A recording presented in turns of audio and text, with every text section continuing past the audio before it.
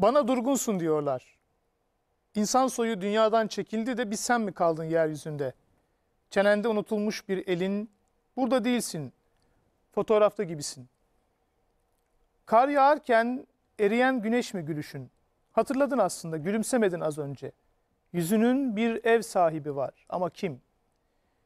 Yerleşmemişsin, sığar her şey bir valize. Ara sıra balıklar, ara sıra geçiyor gözlerinde. Ağ yırtılmış, ha yakalanmışlar, ha dönüyorlar denize. Bana durgunsun diyorlar.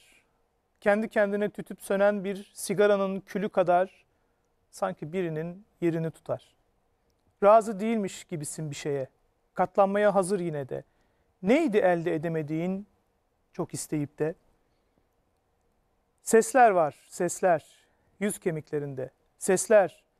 Sesler saat sesleri belki de. Duyurmak mı istiyorlar bir şeyi? Bakanlara değil de derine. Bana durgunsun diyorlar. Bir fotoğrafta gibisin. Dünyada değilsin de. Millet Kıraathanesi'ne hoş geldiniz. Bugün psikolog doktor Mehmet Şakiroğlu konuğumuz. Hocam hoş geldiniz. Hoş bulduk efendim. Nasılsınız? İyisiniz? Vallahi gayet iyi. Sizleri gördük daha iyi olduk. Burada Eyvallah. olmak çok keyifli. Eyvallah. Tam bir sohbet ortamındayız sizlerle beraber. Biz o yüzden şiirle giriyoruz e, her Çok programımızda. güzel bir, yaptınız. e, özellikle günümüz şairlerinden, yaşayan şairlerden bir şiiri Çok iyi seçiyoruz. Biraz da e, tahmin edeceğiniz gibi konuşacağımız konularla alakalı da şiirler seçiyoruz. Evet, durgunsun. Evet. Ee, şair gerçekten çok güzel Cevdet dizeler. Karal. evet. Cevdet Bey'e de Hocam. tebriklerimizi iletelim. Merak ediyorum. Şimdi siz psikologsunuz. Psikolojide durgun olmak diye bir kategori var mı? Yani bazen bir mizaç özelliği olabilir. Evet. Bazen bir karakter, kişilik özelliği olabilir ama durgunluk var tabii. Var. Yani biz onu şöyle söylüyoruz. Kimisi aktif. Yani bir şey aklına geldiği anda yapmak ister. Kimisi aklına bir şey gelir, tam yapacak, biraz daha emin olayım der. Tam onu artık emin oldum, yapacağım, biraz daha emin olayım derken işte buna biz ona aktif olmayan diyoruz. Daha edilgen karakter diyoruz. Var böyle kimi doğumdan getiriyor bu özellikleri, kimi sonra ediniyor. Yani hızlı hareket edip de hata yaptıkça biraz daha durgun olmayı öğreniyorsun ya da. Ba- Kimisi de var.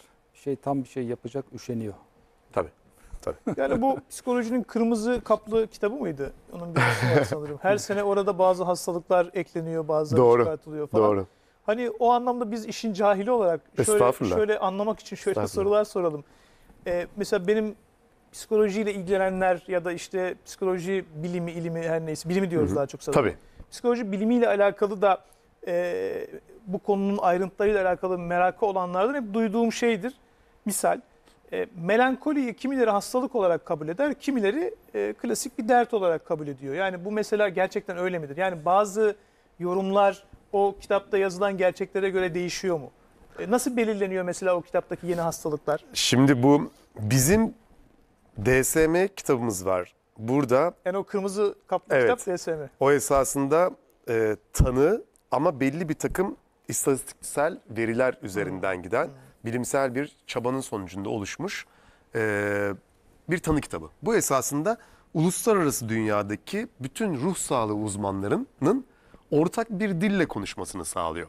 Yani ben depresyondan bahsettiğim anda o kitaptaki kriterler üzerinden gittiğimiz için ortak dili yakalamış oluyoruz. Fakat biz tabii ki benim e, bana yakın meslektaşlarım bu noktalarda ciddi eleştiriler yaparlar. Neden? Şöyle. Çünkü bunlar çok katı tanılar. Biz şimdi şöyle bir çalışma yaptık hocam. Bakın size de burada aklı çok çalışan iki insana bunu sorayım. Nasıl geliyor kulağınıza? Şimdi depresyon kriterlerini aldık, bir havuza attık. Kaygı bozukluğu kriterlerini aldık, bir havuza attık. Kişilik bozukluğu kriterlerini aldık, bir havuza attık. O havuzu karıştırdık. Ve hastaneye gelen bütün psikiyatrik sorunu olan insanlara belli bu testleri uygulayıp onlara tanı koymadan hangi belirtiler varsa o belirti kümelerinden yeni tanılar oluşturmaya çalıştık. Acaba dedik. Gerçekten depresyondaki depresyonda dediğimiz insan bu tanılara mı sahip? Şey, bu belirtilere mi sahip? Yoksa bir insanda kaygıdan biraz, kişilik bozukluğundan biraz, depresyondan biraz özellikler mi geliyor? Ve yaptığımız çalışmanın sonucu henüz yayınlanmadı. Bu bir doktora teziydi Ülkü kardeşimin. Ee, aslında bu tanıların çok da sağlam olmadığını gösterdi. Yani bu DSM'deki tanıların. çok da sağlam olmadığını gösterdi. Yani ben depresyon tanısını koyduğumda birine o kişi kaygı alanından da sorunlar yaşayabiliyor, kişilik alanından da sorunlar yaşayabiliyor. Çok enteresan. Yani aslında bu tanıları çok sert kullanmak yerine biraz daha kişiye özgü tanımlamalar yapmakta fayda var. Hocam bir Ahmet Hamdi Tanpınar'ın meşhur bir kitabı var. Saatleri Ayarlama Enstitüsü diye. Evet.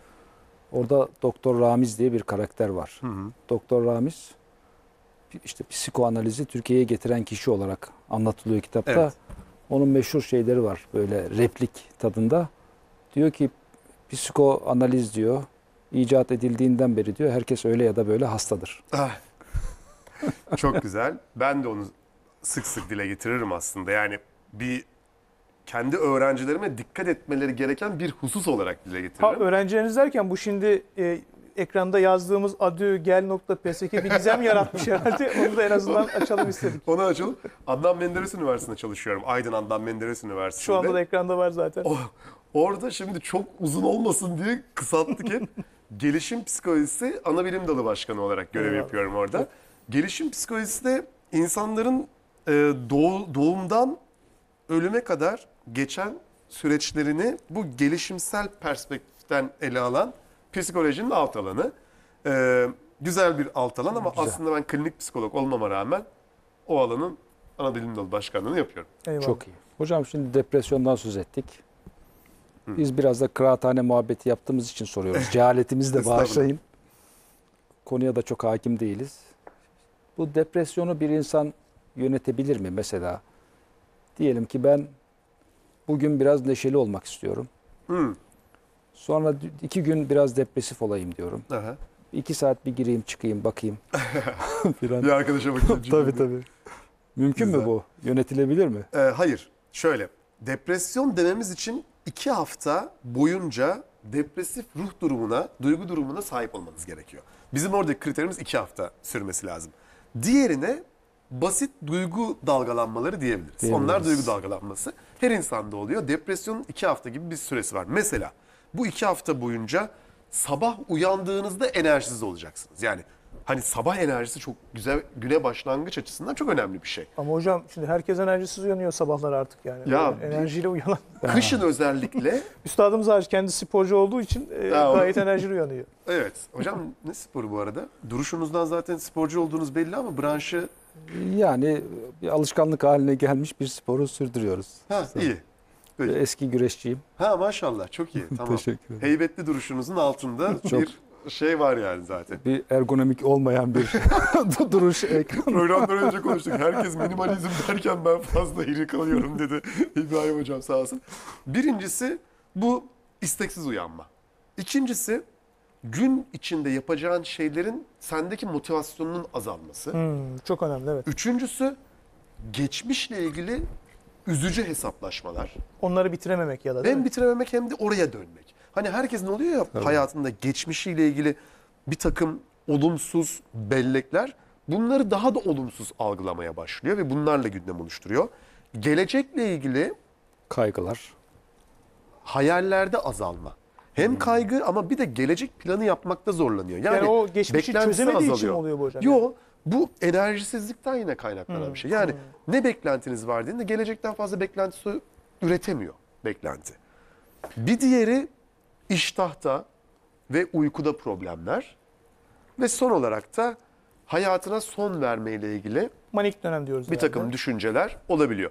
Manik dönem değil, bu depresyonu manik dönem takip ederse o zaman rahatsızlığın ismi bipolar rahatsızlığı oluyor. Orada da bir dalgalanma var. Az önce bahsettiğim semptomlar bir 5-6 ay hakim. Ondan sonra 2-3 ay inanılmaz bir yüksek enerji, bütün dünyayı Evet. değiştirebilirim coşkusu. Sonra bir daha depresyon gibi. Ama bunları saydığımız insanlar eyvah bunlar bende var deyip endişe etmesin. Zaman zaman bunların hepsini herkes yaşayabilir. Evet. Önemli olan bunun e, istikrarlı bir şekilde seyrini koruması insanın hayatında. Yani bu şiirde anlatıldığı gibi durgun bir insan var diyelim ki. Sonra bir bakıyoruz arkadaşımız çok değişmiş. Çok neşeli, sürekli her şeye gülen, hatta yerli yersiz her şeye gülen, kahkahalar atan filan bir insana dönüşmüş. O zaman biraz endişelenmeliyiz değil mi? Yani o aşırı coşku kişiler şunu düşün- düşünsün. çok uyku isteği varken manik durumda hiç kalmıyor. Evet. Hiç iştahın yokken manik durumda çok artıyor. Hiçbir şey yapamam, gelecekten için beklentim yok derken ben dünyayı kurtaracağım, dünyada aç insan bırakmayacağım noktasına gelebiliyor. Çok acayip. O geçişler, o dalgalanma bipoların belirtisi. Yani bir insan sonradan bipolar olabiliyor anladığım kadarıyla bu çizimsel oluyor da önceden de olabilen bir Olabilir. şey. Bipolar, e, depresyon, e, Hani bipolar bozukluk yaşam diye boyu biliyoruz çünkü. yaşam boyu karşılaşabileceğimiz sorunlar. Önemli olan erken tanı, hızlı tedavi, sonuç tamamen olumlu oluyor. Depresyon zaten hiçbir şey yapılmazsa kendiliğinden %60 geçer. Hiç ellenmesi de geçer.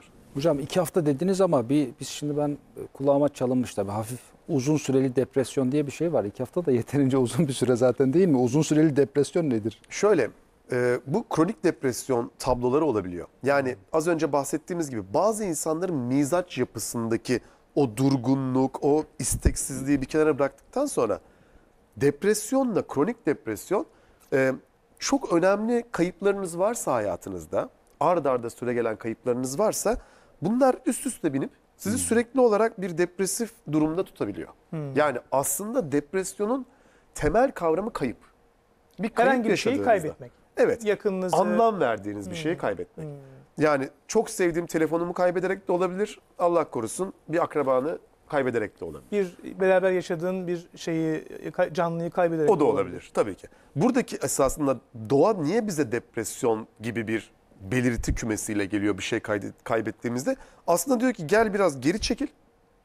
Bir tek başına kal. Bir enerjini topla. Geri çık diyor esasında. Mutsuzluk dediğimiz duyguyla beraber işliyor depresyon. Mutsuzluk bize ne diyor? Bir şey kaybettiğinde gel sana biraz masaj yapayım. Biraz şöyle seni besleyeyim. Biraz insanlardan uzak dur. Enerjini topla geri git. Bize bahşedilmiş bütün duygular aslında işlevsel. Kötü duygu diye bir şey yok. Çok enteresan çünkü sizin mesela birkaç hani yazınızı da okudum, e, televizyonda da rastlamıştım konuşmalarınıza. E, siz mesela diğer psikologlardan ayrılan bir tarafınız var. E, şeyi e, mutsuzluğu falan tavsiye ediyorsunuz bayağı bir Tabii gördüğüm ki. kadarıyla. Yani Tabii hani ki. çünkü o kişisel gelişimin bir yolu vardır. Yani illa mutlu olacağız, çok kazanacağız, çok neşeli olacağız. Böyle işte güne sevgi pıtırcı olarak uyan. Siz onun tam ter tam, Tam tersi, tersi. olmasa da Aslında hani- tam tersine. Ha, yakın. tam tersi diyorsunuz. E, o- güzel. Onu Çünkü- konuşalım o zaman. Çünkü şöyle sözünüzü kesmedim değil mi? Estağfurullah. Ben çünkü söylediğiniz şeyi anladım. Şöyle bir hemen oraya bir nokta. Mutlu olma çabası insanları mutsuz ediyor. Hmm. Yani insanlar o kadar e, arsız bir şekilde mutluluğu kovalar hale geldi ki. Çünkü çok fazla olanak var. Çok fazla olanak, çok fazla yapılması gereken şey, arzu edilen çok fazla şey, Arzu nesnesi de çok fazla. arzu nesnesi çok fazla. Ulaşamayınca ne oluyor? Mutsuz oldu. Mutsuz ediyor. Sanki kayıp var. yaşamışım gibi oluyor. Ben o yüzden 10 yıllık meslek hayatımın sonunda şunu söyledim. Lan, Ben 10 yıldır insanların mutsuzluğuyla çalışıyorum. Hata yapmışım çünkü mutsuz değillermiş. Aa mutsuz değil. Ne peki hocam bunlar? Mutluluk yoksunluğu. Ha mutluluk yaşıyorlarmış. Bakın bu benim hayatımdaki en önemli kavram oldu. Ben şimdi geldiği zaman da söylüyorum. Mutsuzum hocam mutsuzum. Sen mutsuz falan değilsin. Bir şey kaybetmedin. Bunu di- Sen- direkt söylüyor musunuz Direkt yüzüne? söylüyorum. Yüzünüze danışanlara? Sen ulaşamadığın şeyle alakalı sıkıntı yaşıyorsun. E, telefonun 10. versiyonuna sahipken 14. versiyonu çıktığında onu alamadığı için insan mutsuz olmaz. Ama bize o şekilde bir mutsuzluk da öğretiliyor anladığım kadarıyla. Kesinlikle öğretiliyor. Sen bunu öğrenirsen arsız bir tüketici oluyorsun. Tamamen mevzu bu. Sana bir şey satmak için alamadığın durumda mutsuz olduğuna seni ikna etmeni. İnsanlar alışverişi de mutsuzluğunu gidermek için yapıyor. Abur cuburu da mutsuzluğunu gidermek için yapıyor. Bu sosyal medya bağımlılıklarını, oyun bağımlılıklarını da mutsuzluğunu gidermek için yapıyor. Oysa ki tekrar söylüyorum, mutsuz değilsin. Çözüm burada. Ben ona kendim bir isim verdim. Son kitabımın da adı. Mutlusuzluk dedim. Mutlusuzluk. Çok güzel. Mutlu olamama hali. Mutluluk yoksunluğu Yeni bir dediğim kelime şey türeterek bu Evet, evet. da darboğazdan çıktınız. Mutluluk yoksunluğu da çok hoş bir kavram. Ben Benim itiraf edeyim ilk kez duyuyorum. Bu yoksunluk dediğimiz şey genellikle bağımlılıkla falan bağlantılı olarak Yüzde yüz gündeme öyle. gelir değil Yüzde mi? yüz öyle. Mutlu bağım, mutluluk bağımlısı haline getiriyoruz çocukları küçük yaşta. Evet. Çocuk Çünkü sürekli oyalanmak. Şöyle bir de yani duyuyor. hani önümüzde çizilen bir dünya var bir şekilde. Yani aslında ikili bir dünya var. Ya da biz hep böyle olduğuna ikna ediyoruz bilmiyorum. Bir tarafta mutlu bir dünya var. Hı hı. Ee, işte mutlu hikayeler toplamı var. Mesela işte sosyal medyada herkes çok mutlu. Özellikle Instagram'da. Herkes doğru. çok mutlu. Kimse üzgün değil. Herkes tatilde. Yani herkes çok zengin, herkesin arabası en son marka, herkesin kullandığı her şey son marka yani. Yüzde yüz Ee, öyle. kimse mutsuz değil. Ama öte yandan o insanların işte gündelik hayatlarına baktığımızda e, aslında çok ciddi trajedilerle kapıştıklarını, boğuştuklarını da Doğru. görüyoruz. İşte bir kısmı ünlü olduğu için diyelim haberlerde okuyoruz falan. Ya da bir şekilde o mutsuzluğunun da bir e, şeyini Küçük yapıyor. izini gösteriyor. Küçük izini reklam paylaşımlarıyla falan onu Doğru. da böyle çok değişik gösteriyor. Ya burada aslında etimolojiyle ilgili çok ilginç bir tartışma var. Nasıl? Şöyle, mesela biz mutlunun zıttı olarak neyi görüyoruz? Mutsuz diyoruz. Mutsuz diyoruz. Ama mutlunun zıttı teknik olarak baktığımızda mutlu olmayandır. İlle de mutsuz olmasına gerek Bravo. yok. Bravo. Ya da siyahın zıttı nedir diyoruz? Beyaz. Çok saçma değil mi? Siyahın zıttı Saçma. siyah olmayandır. Yani. Yanlış tabii ki. Çok doğru. yani bir şeyin zıttı öyle olmayan demektir aslında küme olarak baktığımızda. En kritiğini, en kritiğinin örneğini vereyim. Etik Evet. felsefesinden. İyinin karşısı. Tabii. Kötü hiç olur mu? İyi ayrı şey, kötü ayrı şey. Tabii. Ben de yüzde yüz sizin gibi düşünüyorum bu konuda. O İşte zaman bu çok çok, anlam geldik, kazanıyor. Evet. Yani mutlu değilim, bu mutsuz olduğumu göstermez. Aynen öyle. Mutluluk yani diyelim ki bir şey gibi düşünelim. Sürekli zıplayan bir şey. Ee, zıplayamadığında durmuş oluyor. Yerin altına girmiş olmuyor. Yani Ha, sürekli bravo. alıştık yani mutluyuz. Sürekli mutluyuz. Böyle tuzlu su içer gibi içtikçe susuyoruz. Bir tatmin olmuyoruz. Bir doyumsuzluğun içerisinde yaşıyoruz ve orada tıpkı madde bağımlıları gibi Evet. o kullanım oranında bir düşme olduğunda hafif aşağıya doğru düştüğünde Ben hastayım diyoruz. ben hastayım diyoruz. Aslında o değil yani. Tamamen bir bağımlılık örneği üzerinden kurulabilir bahsettiğim Tabii. şey. Yüzde yüz katılıyorum.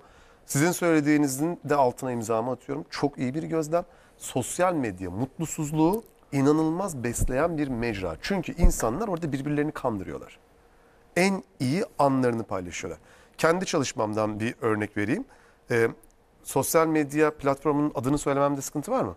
Yani söylemeyecek de olur. Tamam. Çok kullanılan insanların mutlu fotoğraflarını paylaştığı tabii yani. deyince aklımıza gelen yeri 15 dakika kullanırsanız sizin e, iyi olma halinizi düşürmüyor.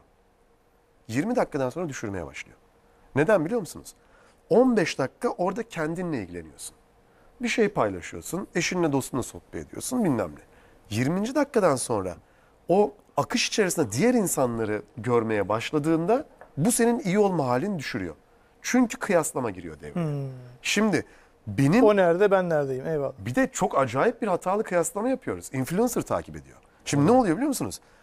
Brad Pitt'le ya da ne bileyim işte daha genç yaşta bir örnek vereyim de pek takip etmiyorum işte. BTS grubunun e, karakterleriyle Aleyna Tilki ile kendini kıyaslıyor. Eskiden işte atıyorum Gazi Endüstri Meslek Lisesi'nde okuyan İbrahim kendisini Gazi Endüstri Meslek Lisesi'nde okuyan Mustafa ile biraz kıyaslardı. Çünkü enformasyon diye bir şey yoktu. Yoktu. Çünkü onu görüyordum. Ve bu sağlıklı bir şeydi.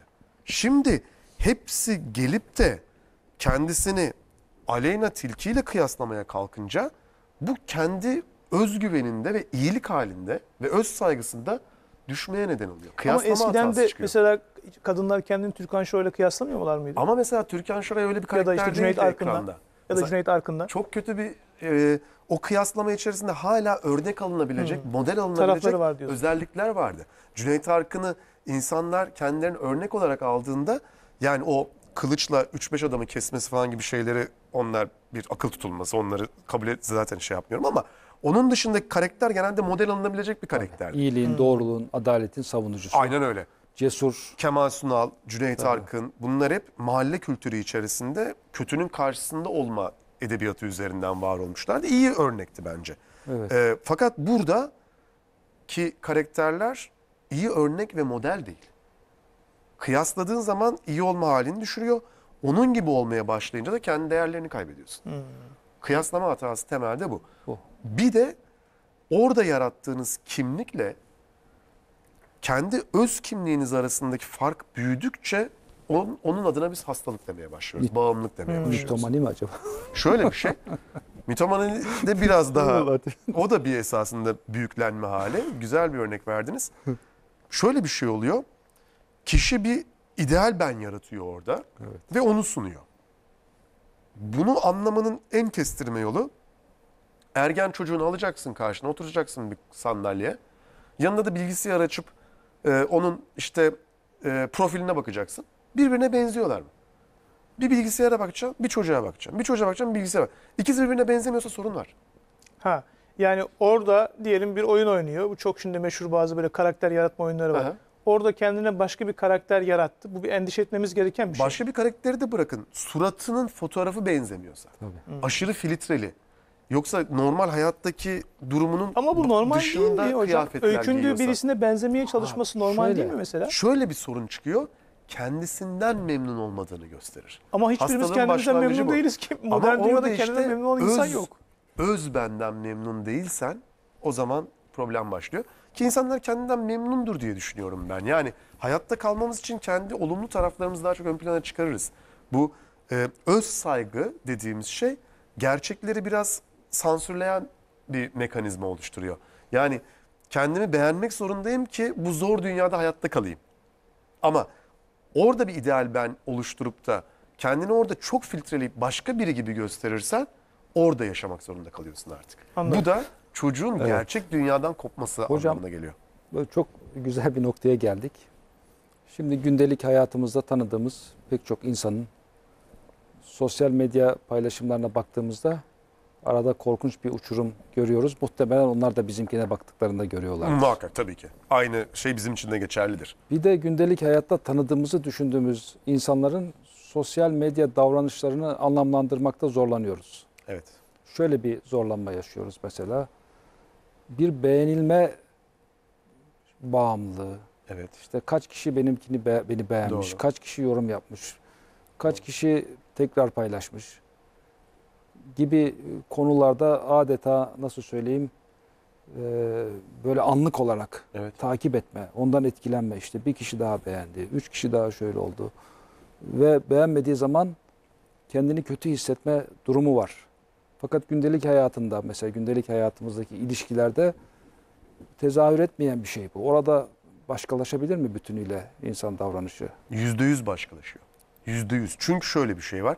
Hani dedik ya insan kendini iyi hissetmek için yanlış şeyleri yapıyor. Aslında bu iyi hissetme hastalığının tam göbeğinde bu iş var. Tam böyle haz merkezine beynimizin sanki bir kablo bağlamış gibiler. Sen beni beğendiğin anda pst, ben mutluyum. Siz beni beğendiğinizde, siz beni beğendiğinizde sürekli mutluluk basıyor. Şimdi farelerle yapılan çalışmalar var. Fareye bir butona bastırıyorlar. İşte butona basmayı öğreniyor fare. Sonra butona bastıkça peynir veriyorlar. Bir süre sonra basmayı bırakıyor. Çünkü doyuyor. Susamış bir fare butona basmayı öğreniyor hemen. Su veriyorlar basmaya devam etmiyor. Doyuyor. O beyninin haz veren tarafına bir kablo bağlanıyor ve bastıkça orası uyarılıyor. Ne kadar basıyor biliyor musunuz hayvan? Ne kadar basar? Ben söyleyeyim ölene kadar basıyor. Çünkü sürekli keyif alıyor, keyif alıyor. Ölüyor sonuçta keyiften. Şimdi bu sosyal medya bizim beynimize bunu bağladı. Şimdi ben soruyorum geldi sosyal medya bağımlısı. Kaç takipçin var? 17 bin. Kaç olmasını istiyorsun? Böyle 100 bin. bakıyor. Yok hiç sayı yok. Sınır 100 bin, yok. 100 bin doyar. Atıyorum 100 bin. Hayır, mesela 100 bin takipçisi olan doyar mı? O da 300 bini 500 bini Tabii ki istiyor. öyle. Yani bu iş sonu olmayan bir dehliz. Bu şey gibi hocam fare örneğini verdiniz ya eskiden sirklerde vardı silindirin üzerinde koşuyor. Evet. Düşmemek için sürekli koşmak zorundasınız ve daha hızlı koşmak yüz öyle. Durunca eziliyorsun. Durunca eziliyorsun ve o durunca yapılan çok acımasız çalışmalar var bununla ilgili.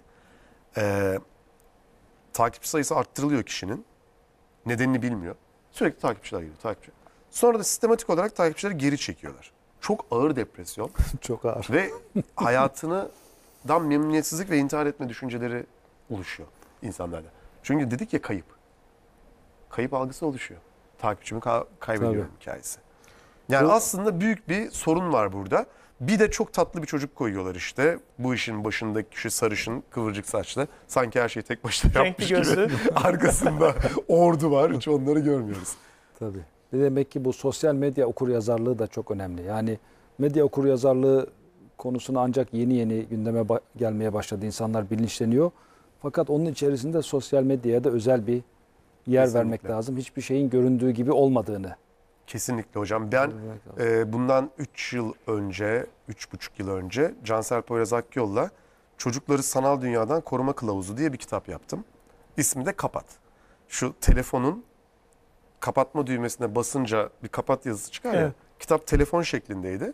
Ve o kapat yazısını kullanarak e, onu yaptık. Tamamen e, ailelere öneriler, gençlere öneriler şeklinde. Ben hayatımda hiçbir kitabın benim hayatımda o kadar etki yarattığını görmedim yani. İnsanlar bunu merak ediyor. Nasıl kurtulabilirim? Çocuğumu nasıl kurtarabilirim? Ve ne yazık ki elde bir malzeme yok. Bakın size bir oran vereyim. Ama çok endişe verici bir oran bu.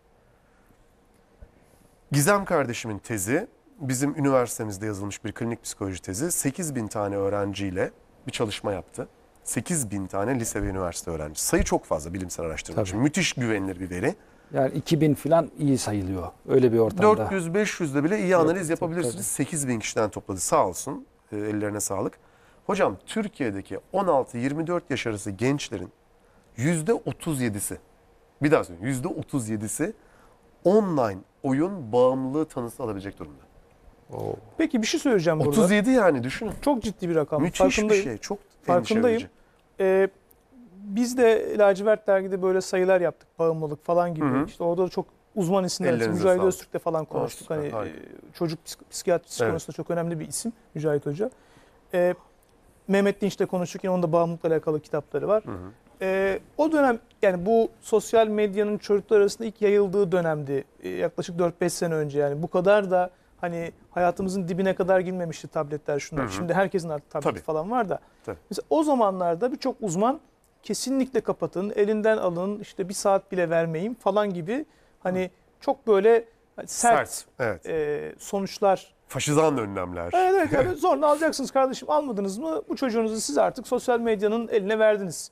Evet. Hani artık o çocuk orada ne neyle karşılaşırsa bilemeyiz falan gibi çok böyle keskin konuşuyorlar. Fakat daha sonra e, hem uzmanlar e, hem de danışmanlar okullardaki danışman biraz yumuşamaya başladı. Öğretmenler de öyle. O zaman verelim ama yani en azından günde iki saat verelim atıyorum. Yani bir saat Gibi. oyun oynuyorsa bir saat bilmem ne yapsın. iki saat şunu yapıyorsa falan.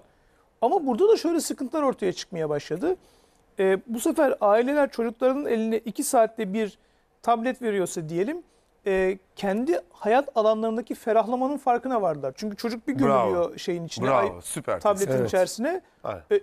Baktık anne baba e, iyi ben rahatım. Yani Evet. evde 3-4 tane çocuk var diyelim. Hepsi aynı anda gömülüyor. O büyük bir konfor Mumyalama alanı. modeli çocuklar hareketsiz. Ne oldu bu sefer? O 1 saat 2 saatlik verilen hediye alan çıktı 4 saate. Tabii canım. Tabii, Yani tabii ki. e, bu sefer ailelerle çocuklar arasında bir çatışma, yeni bir çatışma alanı Çok çıkıyor. doğru. Yani mesela e, isim vermeyeyim de e, onu büyükler bile oynuyor. Ben görüyorum şeyde e, sosyal me- medya sitelerinde, video sitelerinde. E, bir oyun var mesela karakter yaratma oyunu. Küçük Hı hı. şirin karakter hatta ismini de söyleyeyim çok da önemli değil Roblox yani. Hı hı. Giriyorsun içinde e, yüzlerce ayrı küçük oyunlar var. Çok da çabuk yapılabilen oyunlar onlar. Evet. Orada mesela e, bir gün işte yüksek atlamacı oynuyorlar. Bir gün kendini uçurumdan aşağı at- atmaca oynuyorlar. Böyle Evet. çok enteresan. Bir gün denizin içine atıp ne kadar sürede boğulacaklarını ölçen uygulaması var. Evet. İşte bir gün başka bir karakter üretiyorlar. e, Birbirlerini avlamaya çalışıyorlar. Bir asansör kazası var oradan çıkmaya çalışıyorlar falan. Bayağı böyle heyecanlı ve içinde yüzlerce ayrı e, şeyi olan, dalı olan oyunlar bütünü. Biraz reklam yaptın hocam yalnız şu anda istemeden. Ama, Fakat ama bu niye reklam konudaki yaptım? bil- bil- bilginiz hayranlık uyandırıcı. Evet. Beni de şaşırttı evet. Burada yanımızda bir oyun bağımlısı. Bu açıklamanızdan dolayı size de vardır öyle grup şey. Yani Şimdi rejiden uyarıyorlar beni. Bilim çocuklar da bağımlı diyor yönetmenimiz. Eyvah eyvah tamam. burada benim sormak istediğim bir şey var. Diyelim ki çocuklarımız var ve oyun oynuyorlar. Evet. Biz de yani en azından böyle bir girip bakmamız gerekmez mi bunlar ne oynuyorlar falan diye. Yüzde yüz öyle. Biz zaten önerimiz şu. İşte bilgisayarı kaldır, tableti kaldır değil. Siz de kesin kapatın demiyorsunuz değil mi artık? Asla demem. Çünkü zaten neyi kapatacaksın? Zaten kapata kapata artık teknolojiyle bağımızı da düşürmememiz lazım. Çünkü e, şöyle bir veri var. E, bundan 5 yıl sonra şu andaki lise öğrencilerinin %65, %70'i şu anda adı olmayan bir mesleği yapacaklar. Ne o? Teknolojiden gelen bir takım yeni meslekler. Anladım. Tabii. Yani Meslek meslek. sen şimdi onu kapattırdın da bu çocuk e, yani şöyle bir örnek vereyim size bu konudaki düşüncemi açıklamak için. Bir çocuğa 5 dakika bilgisayarı verirsin. Girer, girer bir kumar sitesine bütün kredi kartını maksimum Harcar. parasını orada harcayabilir. Başka birine 10 dakika verirsin TÜBİTAK proje yazabilir. Yani buradaki mevzu tamamen içerik. Tabii. Ne yaptığıyla alakalı. Yoksa ona bakarsan saat iki buçukta çocuğun eline tabletle internete gönderdiğinde saat iki buçukta sokağa çıkarmaktan da çok farklı değil. Orada başına bir şey gelir. İki buçukta çocuğu sabaha karşı sokağa çıkarmıyorsan orada da onu yapma. Ama dediğimiz çok kritik. Ne yaptığına gel otur yanında bak. Müdahale etmeden, karışmadan öğren. Bizdeki ne yazık ki bilgisizlik korkuya neden oluyor. Peki ne yapacağız hocam? Adam iki saattir oynuyor ve vermiyor. Çocuk Hocam, inat etti. Ne ver- yapacağız ver abi? Bunun biraz da-? Ver Beraber. biraz da ben oynayayım falan diyorsun. Sonra bir bakmışsın Sen artık sabah 5. Sen o zaman örnek oluyorsun işte. Sen o zaman örnek oluyorsun. Kötü örnek. Ya ne yaptığını merak ediyorum. Ben de bir- izleyebilir miyim ya da beraber oynayabilir miyiz demekte hiçbir sakınca yok. Eyvallah. Yani şu- çözümlerden bir sonuçta tanesi çocuk kötü bu. bir şey yapmıyor. Tabii tabii. Tamam. Yanında olmak ve kuralları ortak koymak. Şimdi sizin söylediğiniz yere geleceğim. Evet. Şimdi bu çok verilen bir örnek ama doğru. Yani hangi babanın annenin elinden akıllı telefon düşüyor ki? O da zaten sizin elinizde görüyor işte. O bir Yani yandan de kaydırıyor bir örneksiniz. yandan sana kızıyor. Ya olur mu? Hatta Olmaz. anne babalar influencer artık. Onların kendisi. Yüzde yüz bir de kendi çocuğuyla influencer oluyor. evet. Çocuk ağlıyor falan zorla oturtup işte yeni kıyafet diye çocuk istemiyor falan o fotoğraf. Yani bir para kazanma Bunlar rezalet. Bunlar çok kötü. Şunu yapmak lazım. Çocuk, anne ve baba ortak karar verecek, hepsi uyacak. Bizim o Kapat kitabının önemli önerilerinden biri buydu. Mesela bizim o kitabımızdaki bir önerimiz mesela telefonlar asla yatak odasına girmeyecek diyoruz. Ya en azından böyle bir rejim uygulayabiliriz diyorsun. Çünkü e, 13-19 yaş arası çocukların telefonu varsa %25'i 24 saat online. Diyeceksin ki hoca dur nasıl oluyor? Oluyor 24 saat online. Bütün Bu- gece Bu verileri nereden alıyorsunuz hocam? En bu azından veriler onunla kendi çalışmalarımız Kendi çalış- ve uluslararası yerlerden Çok gelen. Bu %25'lik veri benim kendi çalışmam değil. Birçoğu ama kendi. Ben çok fazla bu sosyal medya araştırmam var. İki tane de kitabım var bu konuda. Onların isimlerini verin. Bir kapat vardı. Biri kapat, diğeri de bağlan. bağlan. Biri Eyvallah. kapat, biri bağlan. Bağlanda da 15 günlük bir detoks programı var. Çok iyi. %35 azaltıyor telefon kullanımı. Şimdi biz çocuğa cep telefonunu yatak odasına sokman yasak demiyoruz. Artık ev ahalisi olarak cep telefonlarımızı yatak odasına sokmama kararı aldık. Biz diyoruz. kendimiz de sokmuyoruz. O yüzden sen de sokma diyoruz. O kadar. Arabada telefon kullanılmayacaksa biz de kullanmayacağız. Yemek masasına telefon gelmeyecekse baba da oradan bir yandan hangi yatırım ne olmuş bakmayacak. Bakmayacak. Yani aslında ortak haline çevirmek RT almış mı, beğeni almış mı bakmayacak. Bi- Bizim mesleğimizde gazetecilik olduğu için tabii bunlardan bazılarını uygulamak çok zor. Zor, Anlık tabii bir ki. haber akışı var. Evet. Zor. Ama haber doğru. akışı. Ama her zaman da bir bahane var. Ama Vardır şimdi tabii. e, Mehmet Hoca'nın en azından önerdiği e, konular bir takım çıkış yolları sunuyor bize. Yani elinden şimdi alamıyoruz bunu. O zaman bir şey yapmamız lazım. Dolayısıyla orada en azından bir katkı sunuyor bu. Niye? E, elinden çektik. Dedik ki sen bugün 2 saat süren 4 saat oynadın lan senin cezan bu kardeşim dedik çocuğa. E sonra yine sizin de bir alanınız olan mesele başlıyor. Öfkeli bir nesil ortaya çıkıyor. Tabii, yani tabii. Ya da çocuktaki öfke duygusunu bir böyle bir bileylemiş mu- oluyoruz mutluluk sanki. yoksunu bir Ya da mutluluk insanla yoksunu. Karşı Bu sefer karşıya aileler kalıyorsunuz. kendi içinde de öfke krizleriyle e, Çok doğru. baş etmeye çalışıyorlar. Evet. Şimdi hocam net şunu söylemek lazım. Çocuğun elinden makinayı çekince onun elinden makinayı almış olursun ama interneti almış olmaz. Çok iyi bir cevap. Her yerden buluyor çocuk. Doğru. Sınıfa Doğru, gidiyor. Bir doğru. tane varsa sınıfta bir tanesinde telefonla girdiyse tamam bitti. Herkes o telefonla işini görüyor. Şimdi kimse yanlış anlamasın. Esnaftır sonuçta ama bizler biliyoruz o e, internet kafeleri. Orada neler yaşandı, neler döndü. Yani zamanında şimdi öyle değildir. Şimdi, Şimdi kalmadı, tertemizdir şimdi muhakkak. kalmadı. Hiç kimse yanlış anlamasın. Fakat Tabii, tabii, şimdi orada her şey vardı. Yani Evet. bağımlılığı da vardı, kontrolü yoktu. Bir Bir çocuk de 8 saat sonsuz bir durabilirdi alan orada. hocam. Sınırsız ve sonsuz bir alan. Dolayısıyla orada yani bir insan serseri mayın gibi dolaşıyor. Nereye hangi mayına basacağını bilmiyoruz Hiç yani. belli değil. Bir de saat e, şeyleri yoktu. Mefhumu Yaş yok. ve saat Evet. kuralları yoktu. Şimdi bir bakıyorsunuz e, çocuk makine elinden aldın ama üst kat komşusu. Senin telefonunun şifresi. Okuldaki bir arkadaş. internet kafe. İnterneti bulur. Artık Bulur. kaçış yok ondan. Peki e, bütün bunların bir hülasası olarak şimdi az sonra bir araya gideceğiz ama yine de bir girizgah yapalım. Aradan sonra yine devam ederiz. Bu öfke meselesine siz nasıl bakıyorsunuz? Benim kendi gözlemim birincisi e, modern dünyanın insanı biraz öfkeli bir insan. Yani Evet. e, uçak kuyruğu, uçaktaki bilet kuyruğunda öfkeliyiz. Evet. Otobüse binerken öfkeliyiz. Birbirimizle konuşurken birbirimize karşı öfkeliyiz. Örneğin trafikte. neredeyse aslında araba sürmüyoruz. Yani öfke kontrolünü sağlamaya çalışıyoruz trafikte giderken. Doğru. Bununla ilgili ne yapacağız? Yani insanlara ne öneriyorsun? Sen hatta şundan soruyorum. Benim mesela hiç e, gündelik hayatında böyle şey gibi böyle hani çok masum duran çocuk gibi neredeyse gördüğüm insanlar trafiğe geçince Voltron'a dönüşüyorlar. Yani Çok önemli. evet. arabanın içindeki güvenlik alanından mıdır? Yani ya da kendine fazla bir Yeni güveni bir kimlik. geldiğinde mi? Yeni bir kimlik geliyor. Ha, yeni bir kimlik, geliyor. enteresan. Aynı futbol taraftarlığı gibi. Yani çok basit bir şeydi yani işte kırmızı ışıkta yeşil yandan da kornaya basmaya başlıyoruz. Ya da önümüze birisi işte trafikte atladı. Korna selleri devam ediyor. Ya da e, çok basit meselelerden insanların birbirinin birbiriyle kavga ettiğine şahit oluyoruz. Şimdi bunu da aslında konuşurken böyle klasik sabah programlarındaki şeye dönmesin diye uğraşıyorum ama e, ama bunu hepimiz yaşıyoruz gündelik Doğru. hayat içerisinde. Yani bir öfke selinin içerisindeyiz Maalesef. trafikte de. Şimdi şöyle düşünüyorum. Hayat kolaylaştı, kolaylaştıkça öfke artar. Hmm. Hayat çok kolay artık. Hayat çok kolay olduğunda kişilerin haksızlığa uğradım toleransı azalıyor. Haksızlığa uğramak öfkeye neden olur. Bu işlevseldir doğada. Haksızlığa uğradığınızda öfkelenirsiniz, enerjiniz artar, sizi haksızlığa uğratma durumundan çıkmaya çalışırsınız. Ya da bir engelle karşılaştığınızda sistem size öfke verir. Gücünüzün yeteceğini düşünürseniz. Bu maksimum enerji sağlar. Şöyle bir dikleşirsin, daha güçlü olursun ve engeli aşarsın.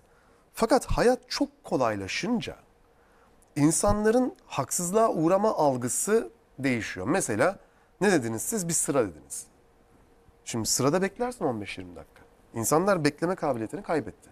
Trafikte müzik dinle, yanındakiyle sosyalleş, bir şeyler yap. Ama hayır, insanlar bekleme toleransını kaybetti.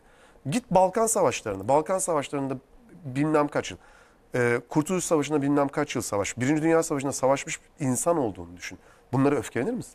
Atıyorum yani zorluklar içerisinde yaşamış biri olduğunu düşün. Şimdi ben yıllarca deprem alanında çalıştım. Deprem sonrası öfke ortadan kalkar büyük oranda. Çok acayip. Çünkü Neden? ufak tefek şeyleri dert etmezsin. Yani Kaynaşlı'da çalışma yaptım ben. Nüfusunun %10'unu kaybetmiş bir ilçe. Allah rahmet eylesin. Allah göstermesin bir daha bu ülkeye deprem. Ama gösterecek önlem de almak lazım. Ayrı konu. O ayrı bir çalışma konusu. Kaynaşlı'daki insanlar o dünyadaki en büyük kaybı bir afet sonrası yaşamış insanlar hepimizden daha iyi şu anda. Çünkü ufak tefek şeyleri dert etmemeyi öğrendiler. Ya ben Ger- sevdiklerimi ger- kaybetmişim. gerçek bir acı yaşıyor. Gerçek olgunlaşıyor. acı. Evi gitti hocam. İşe gitti, evi gitti, ailesinden biri gitti. Telefonun şarjı bitince buna öfkelenir mi? İşe giderken trafiğe takıldım diye buna öfkelenir mi? Hayır, bitiyor bunlar. Bunlar hayatı kolay yaşayanların basit hezeyanları esasında. Hayatı Hayat- kolay hiçbir yaşayanların derdi basit olmayan- hezeyanları. Tabii hiçbir derdi olmayan insan çok öfkeli. Ya sen maçta takımın gol yedi diye öfkeleniyorsan bundan daha bir lüks, daha büyük lüks yok bu hayatta.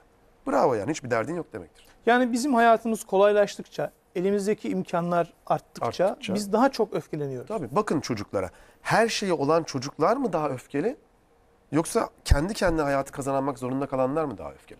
Her şeyi olan çocuk e, yanlış yönlendirilirse çekilmez bir hal alıyor Tabii. çocuk. Sürekli her şeye öfkeleniyor, Sürekli ağlıyor, canım sıkılıyor. canım sıkılıyor.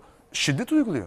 Tabii. Çünkü mutluluk canavarı olmuş artık. Mutluluk canavarı. Mutluluk eyvallah. canavarlığı kavramı sürekli olarak bu çocukları memnun etme çabasındaki ebeveynler tarafından yetiştiriliyor bu çocuklar. Bakın çok net söyleyeyim. Bizim derdimiz e, akademik başarı değil. Mutluluk diyen kreşleri hatırlarsınız. Evet, evet Ya hatırlıyorum. niye mutluluk olsun senin derdin? Asıl problem o. Çocukları mutlu edeceğiz, mutlu edeceğiz, mutlu edeceğiz derken mutluluk canavarı yetiştiriyorsun. Bence oraya da çocuk götürmek. E, mutsuz Niye mu mutlu olsunlar hocam? Ben de, Yok, ben de neyse. ailelerin ağzıyla konuşayım. Mutsuz Neyse mu olsun. olsunlar hocam? Ne oluyor biliyor musunuz? Çocuk şimdi oraya gitti. Oyalayıcı veriyorlar oyun. Bilmem ne etkinliği oyun. Hadi güzel yemekler yedik. Güzel e, parkta oynadık. Oynadık. Sonra güzel bir uyku çektik. Sonra geldik şu oyunu, bu oyunu, bu oyun. Çocuk artık sürekli olarak bu zihnine bağlanmış şeyin uyarılmasını istiyor. İstiyor. Eve geliyor. Can sıkı. Ya Anne baba bir- işten gelmiş, eve geliyor yorgun. Sonra anne babaya kalıyor iş. Şöyle bir şey dünyanın en kahramanca davranışı bir deniz kenarına oturup da bir saat denize bakabilmek. Çok güzel. Sen 12 yaşında çocuğa bunu yaptırabiliyor musun? 2 dakika içinde delirir çıkar. Ne yazık. Koşturmaya başlar çevrede. Bunu kaybettiğin zaman bütün değerlerin de gidiyor ama. Çünkü o mutluluk için her şeyi yapıyor o çocuk sonra. Bakın en büyük kahramanlık. Bir manzara izlemek. Bir saat otur izle bakalım kim yapabiliyor. 70 yaşının üzerine gittiğinizde oturur izler adam bakar. Zevk alır. Bağ kurar. Şimdi bitti artık yok. Bir Bunu insan oluştu. bile hocam yani biz bu teknolojik değişimi yaşayan insanlar olarak biz bile mesela bundan 10-15 yıl önce yapabildiğimiz şeyleri Şimdi yapamıyor. yapamaz hale Benim geldik. için de geçerli hocam. Tabii. Benim için de Bu geçerli. manzara izlemek diyorsunuz ya. Şimdi manzara izlemek korkutuyor insanları. Gerçekten korkutuyor. Neden? Bir ağacı uzun süre izlediniz mi korkmaya başlıyorsunuz artık. Neden? göğe bakmıyor insanlar. Göğe mesela. bakmıyor insanlar. Çünkü Şöyle- kendi gerçeğinden soyutlanacak. Tabiatla, kozmosla direkt bir iletişim Çok tehlikeli. kuracak. Tabii. Sonlu olduğunun farkına varacak. O Bravo. ağaç yaprak döküyor, yeşeriyor. Tabii. Çok derin Yani- bir şey söylediniz. Doğru. Birlikte mesela Tabii. bir çocuğunuz olduğunu düşünün. Deseniz ki ona oğlum ya da kızım hadi seninle birlikte sessizce oturalım 20 dakika. Muhtemelen sizin delirdiğinizi düşünür. Mümkün değil. Zaten yapamıyor. Zaten ebeveynler öyle deliriyor işte. Yani ebeveyn delirmesi diye bir kavram varsa çocuk mutluluk canavarı olduğu için ebeveynlerin kafalar gidiyor. Çünkü çocuk sürekli etkinlik istiyor. Sürekli mutlu olmak istiyor. Ya can sıkıntısı dünyanın en değerli duygusudur. Mesela benim kapat kitabında çok can güzel. sıkıntısını öven bir bölüm var. Ya sen çocuğun canı sıkılmazsa ne ileride bir şey üretebilir ne de yaratıcılık edinir. Tabii. İnsan can sıkıntısından yaratıcı olur. Çocuğa sen hazır veriyorsun arabayı. Ya bizim çocukluğumuzda tahta vardı. Ama o tahta hem arabaydı hem uçaktı hem mi? askerdi hepsiydi. Biz hepsini hazır veriyoruz. Çocuk sen 10 dakika bekle. Çocuğun önünde bir tahta olsun. Araba istiyor.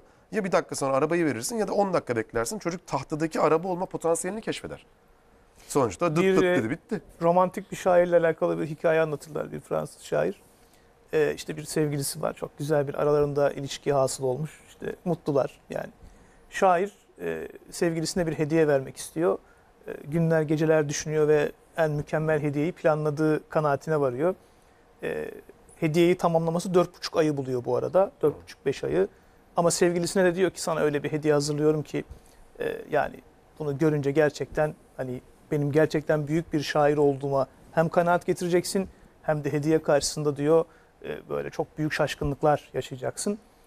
5 ay geçiyor 4-5 ay neyse. Şair diyor ki işte bugün zaten o 5 aya da işte birlikteliklerinin bera- beraberliklerinin başlama gününe falan denk getirmiş. Güzel bir kutlama yapıyorlar ve şair hediyesini takdim ediyor. Hediyesi sıradan basit bir demir yüzük. Kız eline alıyor yüzüğü.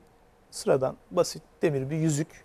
Ee, parmağında bile denemeden ya diyor 5 ay boyunca beni bunun için mi e, beklettin? Hmm. Yani hani büyük bir şairsin. Adın sağda solda duyuluyor ama hani ben senden enteresan orijinal bir şey bekliyordum yani. Bu mudur 5 ay boyunca beklettiğin hediye? Tabi burası biraz daha destansı. Şair diyor ki 5 ay boyunca beklettiğim bu hediye benim 5 ay boyunca kanımdan her gün süze süze elde ettiğim demirden Hmm. katıştırarak yaptığım bu demir yüzüktür diyor. Hmm. Ve kız e, bu şey karşısında, şairin cevabı karşısında şaşkınlıkla baka kalıyor Çok ne yapacağına dair. E, ben bu hikayeyi Çok anlatırken, ilginç. konuşurken her zaman şuna vurgu yaparım. Aslında benim tarafım tuttuğum kişi şair değildir bu Hmm. hikayede, kadındır. Hmm. Çünkü şair öylesine büyük bir hediye veriyor ki yani hediyenin büyüklüğünü bile anlatmakta, an- konuşmakta zorlandığımız Zor. bir hediye. Evet. Oysa kadının istediği güzel, sıradan, alışık olduğu bir hediyeydi yani. Doğru. Madem beraberliğimizin mutlu bir gününü kutluyoruz. Büyük bir yükün altına sokuyor kızı. Ama aslında şair o kadar büyük bir yükün altına sokuyor ki Doğru. e, şeyini, sevgilisini, eşini, arkadaşını. E, kadın bu yükün altından kalkamıyor. Yani dolayısıyla biz biraz da bu tabii 19. yüzyılın bir hikayesi ama biz artık ikinci bölümde onu konuşalım isterseniz. E, büyük hikayelerin çağına tosladık biraz da. Yani Evet. e, işte bu şiirlerin olduğu çağ destansı bir çağıydı. Hepimizin abartılmış hikayeleri vardı Doğru. destansı hikayelerimiz vardı. Hiç yoksa abartılmış askerlik anımız vardı Tabii canım. tabii tabii Yani yüzde yüz. Gittik şeyle düşmanla çarpıştık tabii. falan diyorduk Doğru. çarpışmasak. Çarpış- Saatlerce nöbet tutsak bile. Ama o bile artık ortadan kalktı. Abartılmış hikayelerimiz yok. Artık e, dijital, e, sanal, e, büyük olmayan komik hikayelerimiz var diyorum. İkinci bölümde bunu konuşalım mı? Olur, Olur. tabii ki Peki. zevkle. Yani Çok güzel bir- bir hikayeyle. Kadın muhtemelen şöyle düş- düşündü. Her yerde bulabileceğim bir şey için bu kadar çaba sarf etmene ne gerek vardı? Evet, yani. doğru. Yani bu kadar da canım olur mu falan dedi. Sevgili seyirciler kısa bir mola vereceğiz. Sonra kaldığımız yerden devam edeceğiz inşallah.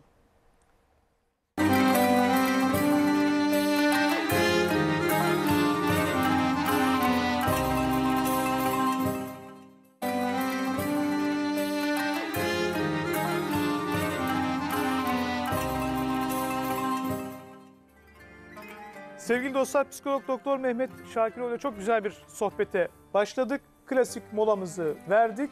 Güzel de bir yerde verdik. Oradan devam edelim. Güzel bir yer. Şair kanını süzmüş 5 ay boyunca. Oradan bir Oradan demir bir elde demir etmiş. elde etmiş filan. Ne kadar Da elde edilen demiri Yani ona eklemiş. Neyse. Orada be- be- benim kanaatime göre kendi büyüklüğünü göstermeye çalışan bencilce bir davranış yani. Kadını düşünmüyor. İlginç bir bakış. İlginç bir bakış. Kadınla bu hediyenin bir alakası yok yani. Oradaki hediye alana ait değil, verene ait. Kendi kudretiyle alakalı. Tabii. Ama şair bir kahramanlık yapmış sonuçta. Yani bir kahramanlık Bir- var bu bir- işte. Ama ikinizin de şairin davranışını beğenmemeniz de bana Kend- bravo yani. Kendince Kadın bir kahramanlık izlersen- yapmış. Yani buradaki abartıyı ben şey yapıyorum. e, konuşmak Tabii, gerektiğini tabii düşünüyorum. Evet. yüz tabii Bir ki. büyük anlatılar çağının son döneminden biz bizler nasiplendik tabii. Evet. Şimdi Evet. hocam biraz önceki konuda benim dikkatimi çeken hususlardan birisi de siber zorbalık dediğimiz husus. Evet. Çok önemli. o da. Yani bu oyunlarda filan. Ben şimdi biraz bu konuda tecrübem var çok az yani. Ne Hı hı. olduğuna bakmak için yine girmiştim. Hı hı. Biraz o araba yarışlarından filan oynadı. Başka şeyler, Hı. oyun konsollarında, bilgisayarda filan. Orada arkada konuşmalar var. E, Yazışmalar var. Hmm. Orada böyle mesela ben çok tuhaf insanlarla karşılaştım. Hı. Yerli yabancı. Çünkü online olarak birbirlerine bağlandıkları için. Bu siber zorbalıkta e, dikkat edilmesi gereken bir husus değil mi? Çok önemli. Tabii ki çok fazla çalışılıyor. Benim o konuda bir çalışmam yok. Ama e, hassasiyet şöyle artıyor.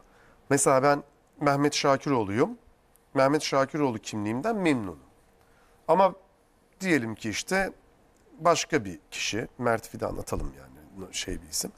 O Mert olmaktan memnun değil. Ama öbür tarafta sanal dünyada öyle bir karakter geliştirmiş ki ondan da çok memnun. İşte siber zorbalık ona yapıldığında, o karakterine yapıldığında bu çocuk gerçek hayatta depresyona giriyor. Burada yapılıyor, orada giriyor. Yani o karakteri, oradaki davranışı ne kadar önemsersen siber zorbalık sana o kadar zarar veriyor. Yani Yine ayrı- siber zorbalıktan Evet. korunmanın en kestirme yolu da Evet. Ya orada oluşturduğun karakterleri bu kadar önemseme kardeşim diyeceksin. Yani başka yolu yok. Süre Çünkü orada var bu. O ayrımı yapamaz hale geliyor diyorsunuz. Yapamıyor tabii ki. Oradakinden kendi depresyona giriyor. Çünkü ben oyum noktasında Tabii. artık.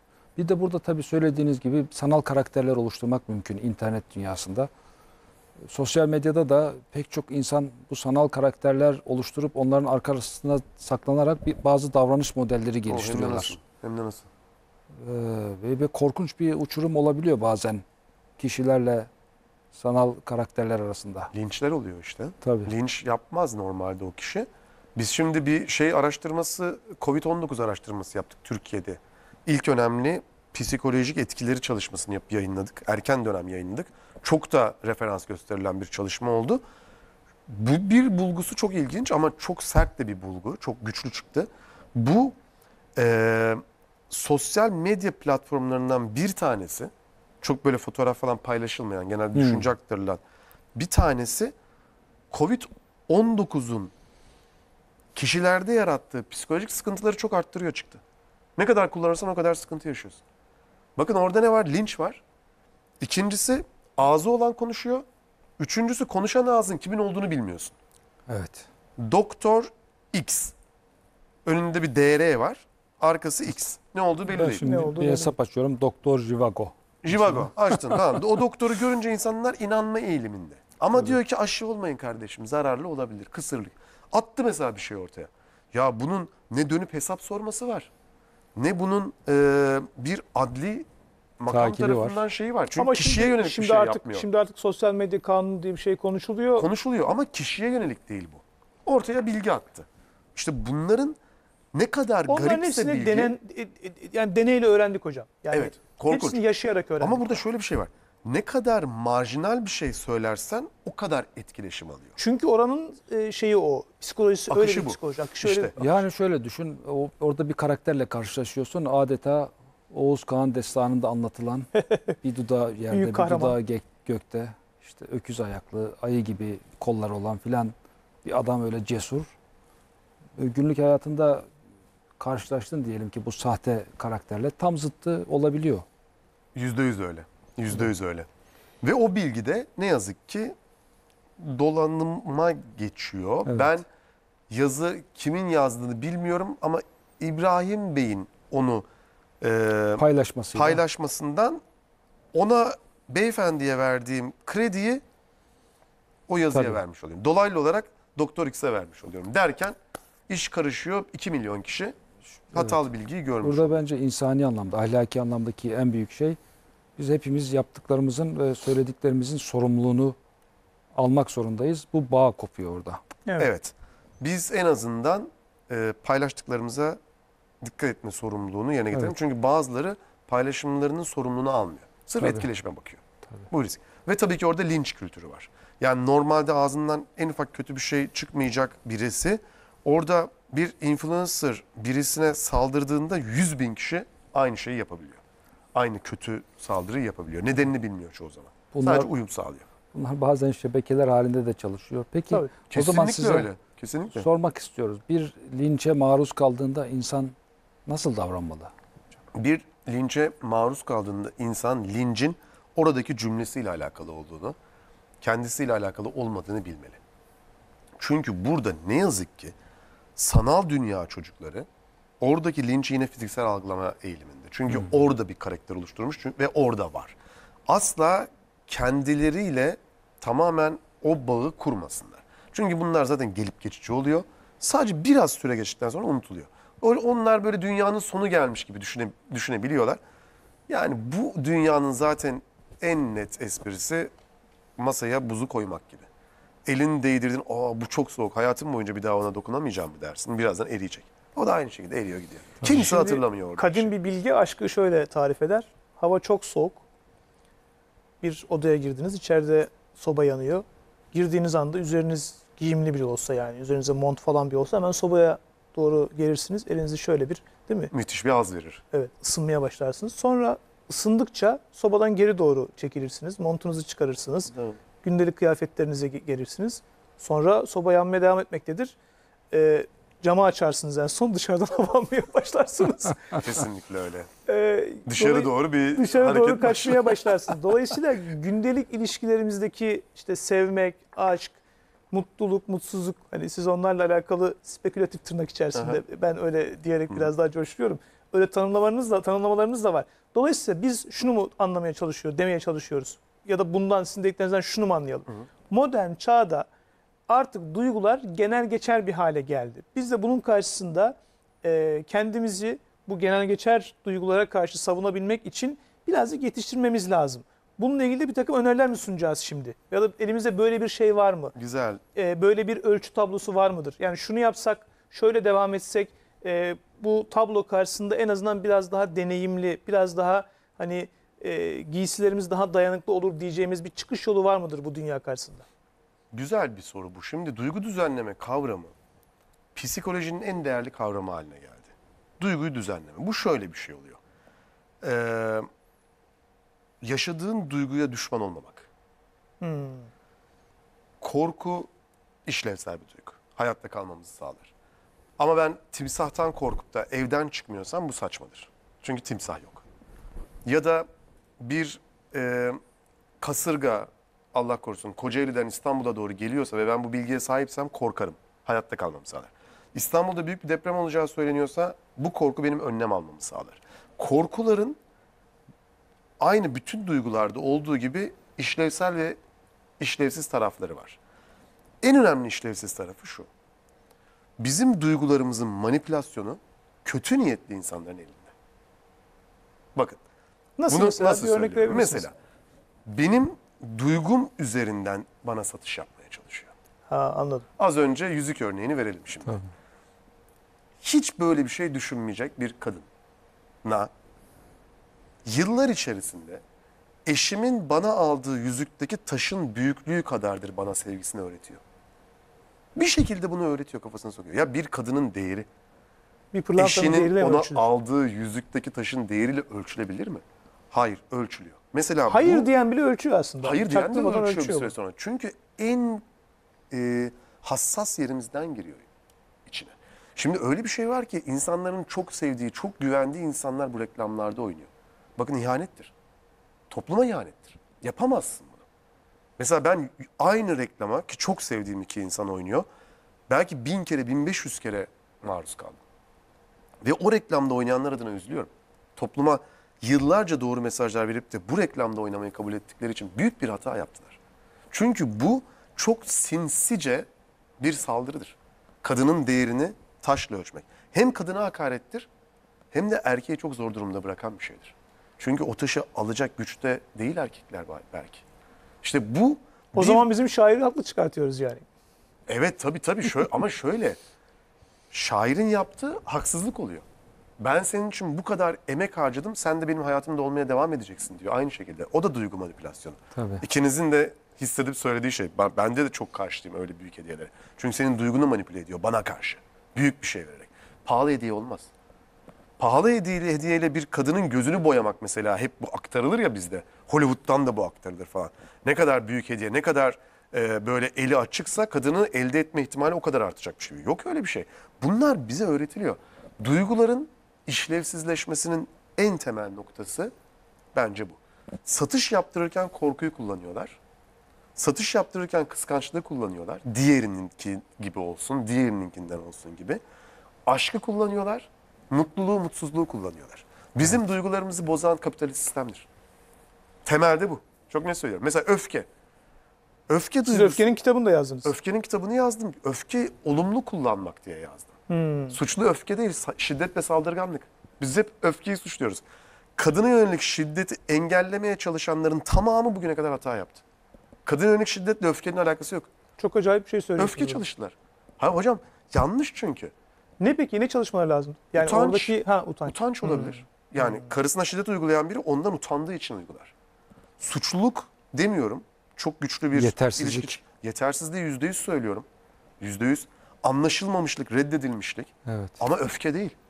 Öfke şiddetin nedenidir başka durumda ama kadına yönelik şiddetin nedeni değildir. Ama hep Biz diyoruz ki öfkeyi öfke, durduruyoruz. evet evet hep oradan yürüdüler bu zaman. Hatta haber dili de onun üzerine kuruldu. Onun Öfkeli üzerine. koca, işte Öfkeli saldırgan koca, Değil. bilmem ne. Utanmış koca, reddedilmiş koca, e, öz saygısı düşük koca olabilir. Öfkeli Evet. koca ne? Hepimiz günde 5-6 kere öfkeleniyoruz. Kimse Evet. gidip de karısına saldırmıyor. Tabii. Yani şiddet ve öfkeyi birbirinden ayırt etmemiz lazım. Biz bütün şiddetin kaynağı olarak öfkeye giriyoruz. Öfkeyi herkes yaşar. Sağlıklı bir duygudur. Doğru yere kullanırsan da sana kitapta yazdırır. Resimde yaptırır. Doğurganlığa yol açabilir Doğurganlığa da yani. yol açar tabii ki. Ne, nasıl kullan? Nuri Şahin'i bilirsiniz. Evet.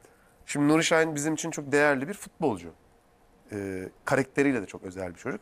16 yaşında Bundesliga'da Alman 1. liginde en genç gol atan ve en genç forma giyen kişi oldu. 23-24 yaşlarında ona soruyorlar. Diyorlar ki inanılmaz çok faulle uğruyorsun. Göbekte oynuyor çünkü. Hiç kart görmüyorsun. Nasıl oluyor bu?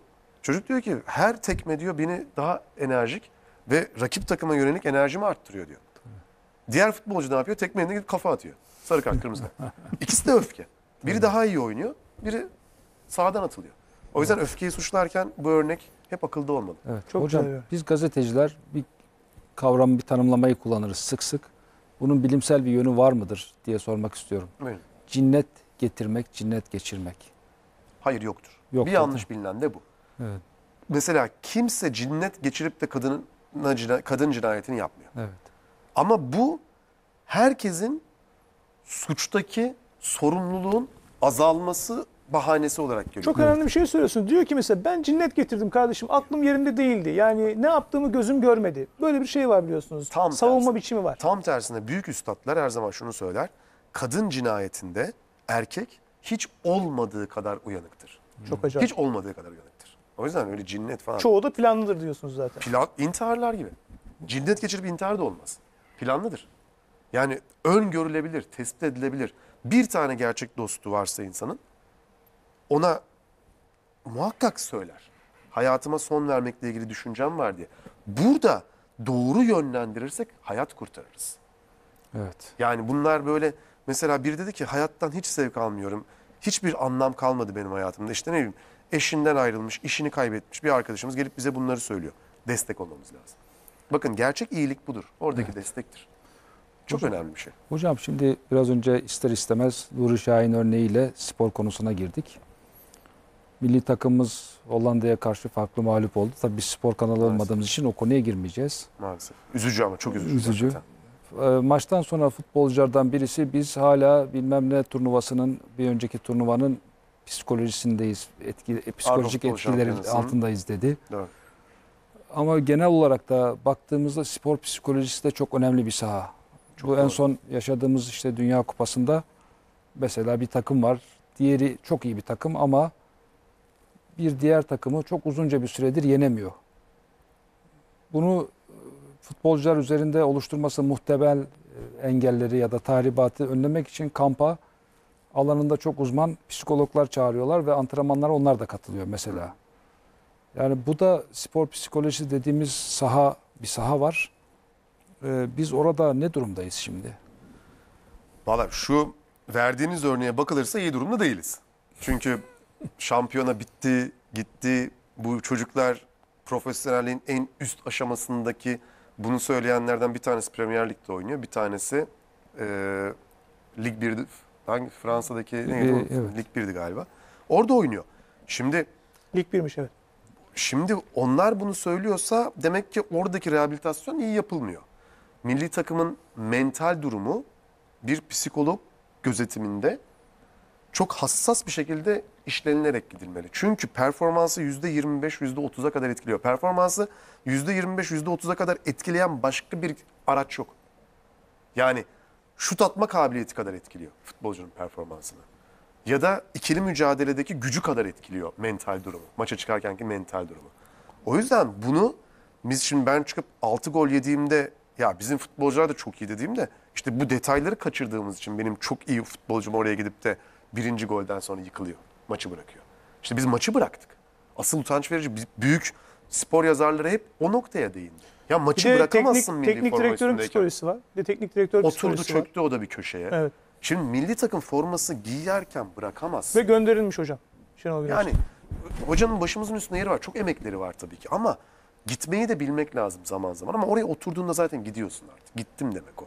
Bence buradaki temel şey bilime ve bilimin yapabileceği o önemli işlere yeterince önem vermek. Katkıya yer açmamak. Yer açmak. Bir de hocam ben çok haddimi aşmak da istemiyorum ama bu tür alanlar öyle bir tutulmuş ki, öyle bir zapt edilmiş ki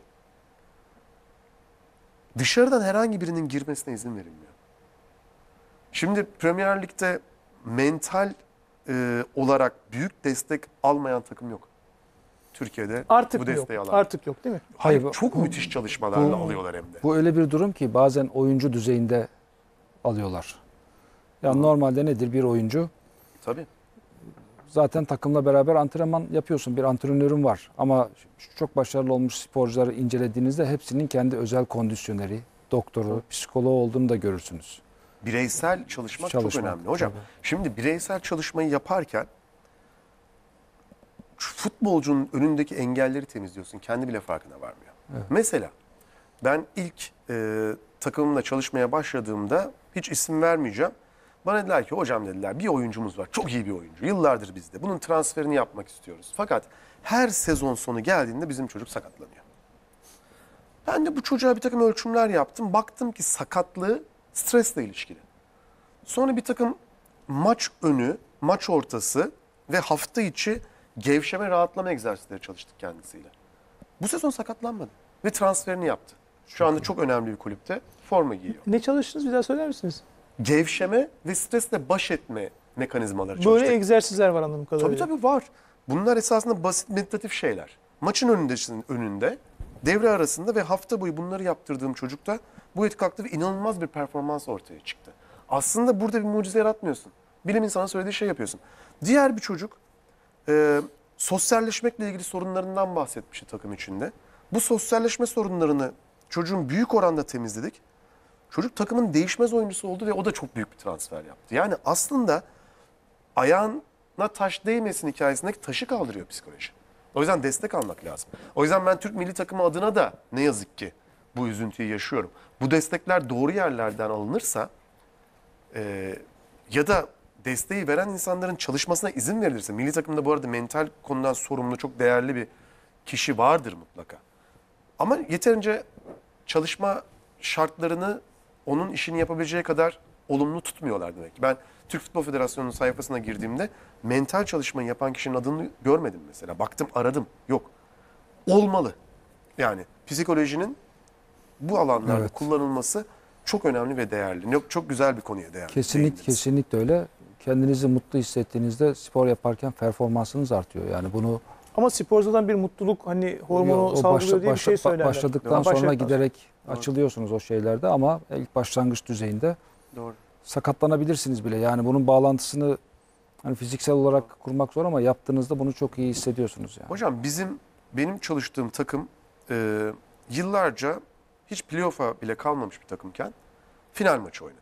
Bu onun tarihindeki en önemli şeydi. Çok kısa sürede müthiş bir teknik ekiple çalışıyorlar zaten. Bence Türkiye'nin en iyi teknik ekibi ve milli takımda da olmalarını düşünüyorum. 10 yıldır aynı takımda olan tek teknik ekibi o takımda. Altınordu takımından bahsediyorum. Orada şöyle bir örnek üzerinden gittik. LeBron James'in şöyle bir sözü var. LeBron James diyor ki bir maçta ilk iki şutu sokarsam, bu arada dünyanın en önemli basketbolcusundan bahsediyoruz. Hala yaşayan efsane. İlk iki şutu sokarsam potayı koca bir havuz gibi görürüm. Her attığım girer. İlk iki şutu sokamazsam potayı küçük görmeye başlarım. Şutlarım girmez. Şimdi bu şu demek.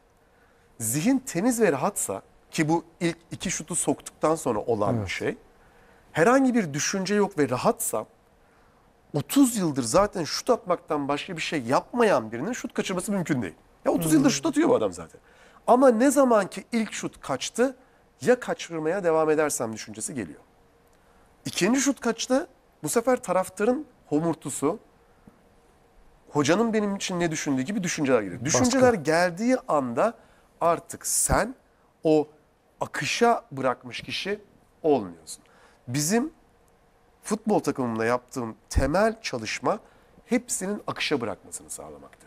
Letting go diyoruz ona. Zaten bu hayatta en iyi yaptığın şey. Hayatta en iyi yaptığın şeyi yapacaksın. Bırak oyna. Ne zaman kafaya bir düşünce geldi, futbolcunun performansı düşer. Türk milli takımı asla Hollanda'dan 6 gol yiyebilir mi? Böyle bir şey mümkün mü? O ilk golden sonra kafalar tamamen maç sonrası yaşanacak şeylerle dolduğu anda performans gidiyor. Performans gidiyor. Evet Yenilgi orada başladı diyorsun. Evet. zihin, düşünce ürettiği anda sen Kafa- hayatta en iyi yaptığın şeyi bir zor. Bunu niye söylüyorum? Ya sonuçta futbol bir oyun. Oyun olmaktan çıkıyor. O zaman Bu, hay- performans bu düşüyor. hay- hayatın her sahasına da uygulanabilecek bir düşünce aynı zamanda. Hocam şimdi biraz önce konuştuklarımızdan zihnime takılan bir şey var. Edebiyat psikoloji ilişkisi malum. Zaten psikolojik romanlar filan günümüzde tekrar yükselişte. Fakat bunun bir öncesi de var. Mesela Irving Yalom'un romanları vardı. Nietzsche ağladığında ve benzeri işte Divan diye bir romanı vardı. Belki uluslararası düzeyde bizim gibi sıradan okurları psikolojiyle bu anlamda tanıştıran kitaplardı. Şimdi insanın Evet. geçmişiyle problemli olmasına bir çözüm öneriyordu orada Irving Yalom. Baca temizleme dediğimiz bir şey. Yani benim anladığım kadarıyla bu Eric Fromm'dan da okuduğum kadarıyla bu geçmişini değiştiremesen bile ona olan bakışını değiştirebilirsin. bravo. Geçmişini yeniden düzenleyebilirsin anlamına geliyor. Bu bir çözüm müdür yani? Evet. Bu bir çözümdür. Bu çok iyi bir çözüm. Şimdi bizde şöyle bir şey var. Ee, travmayı yok edebilir miyiz? Hayır. Yok edemezsin. Ama travmatik yaşantıyla ilgili oluşturduğun belleği değiştirebilirsin. Şu mesela bizde kritik bir sorudur. Depresyonun nedeniyle ilgili. Otobiyografik bellek diye bir şey var. Biz bir olay yaşıyoruz. Mesela biz şu anda bir program yaşadık. Ben buradan kalktım ve diyorum ki ya hiçbir şey söyleyemedim ya. Nasıl bir adamım ben ya? Hiçbir şey konuşamadım. Dilim dönmedi. Bu iki saatlik programdaki bir tek dilimin takılmasıyla eve gidebilirim. Bu gerçeği yansıtır mı? Hayır. Ben depresif kişiliğe sahip biriysem o bir saniyeden ibarettir program benim için. Ya da bu bir birinci şık. İkinci şıkta depresyon nedeni olarak gösterilen ikinci şıkta yaşadığım şeyleri olumsuz hatırlamak. Yani ben buradan iyi mutlu çıkıyorum eve gidiyorum. Bir ay sonra oturuyoruz. İşte İbrahim Hocam programdan bahsediyor. Benim aklıma programdaki o iki saniye geliyor. Ya ne kadar başarısızdım o gün. Ne kadar kötü bir performans. Şunu da söyleyecektim eksik kaldı. Şunu da söyleyecek eksik kaldı. Kimi de böyle hatırlıyor. Ya belleği oluştururken hata yapıyoruz. Yani esasında gayet güzel sohbet edip ben bir saniye odaklandığım için belleği yanlış oluşturuyorum. Ya da geri getirirken hata yapıyoruz. Şimdi bizi izleyen Depresyon tanısı almış insanlar hangi tür hatayı yaptığını bilsin. İnsanlar kötü şeyler yaşadıkları için depresyona girmezler. Yaşadıkları şeyleri kötü belleklerine yerleştirdikleri için depresyona girerler. Yoksa kötü şeyi çok yaşıyoruz. Her gün yaşıyoruz. Tabii. İnsan olmakla alakalı bir şey. Bu manada geçmişi temizleyemeyiz, bir hafızayı yok edemeyiz ama ona bütünüyle yer verdiğimizde hem iyiyi hem kötüyü görebiliriz içinde. Tedavi bu. Tam olarak söylediğiniz bu. üzere. Bu dediğiniz Fromm'un, Erik Fromm'un sözü müydü geçmişle alakalı? Bu baca temizleme şeyi Irvin Yalom'un romanında Yalom'un. çıkıyor ama bu mutluluk konusunda işte dış dünya mı önemlidir, o dış dünyayı nasıl değerlendirdiğimiz mi önemlidir konusunda Erik Fromm tartışmıştı. Hocam tam olarak bu söylediğiniz sebepten dolayı biz burada programın adını kıraathane koyduk ve kendimizi rahatlatıyoruz yani. Ha, bir şey unutmuş olabiliriz. Bunu sonra tabii, konuşuruz tabii, Zaten tabii. kıraathane Doğru. sohbeti. Tekrar gelinilen yer yani Gelinilen ertesi yer. gün gibi. Şimdi bu dedik dediklerimizi destekleyecek hem de e, sizin de hoşunuza gidecek Tolstoy'un bir sözü var. Hı hı. Şöyle diyor Tolstoy, sizi destekliyor hocam. Gelecek için gelecek için endişe etmeyin. Çünkü gelecek diye bir şey yoktur. Sadece şimdi vardır. Onu yaşayın. İnsanlar, insanlar burası önemli. İnsanlar sadece acıyla büyürler. Evet. Bu Tolstoy'un son konuşması. Son konuşmasından e, elde edilmiş metinlerden, e, üretilmiş metinlerden bir tanesi. Evet. E, sizin tam dediğinizi beslek, destekliyor. Son mu? bölümü yani özellikle insanlar acıyla mı büyür gerçekten? insanlar bugünkü konuşmalarımızda sık dile getirdik. Yaşam merhaleleriyle olgunlaşırlar.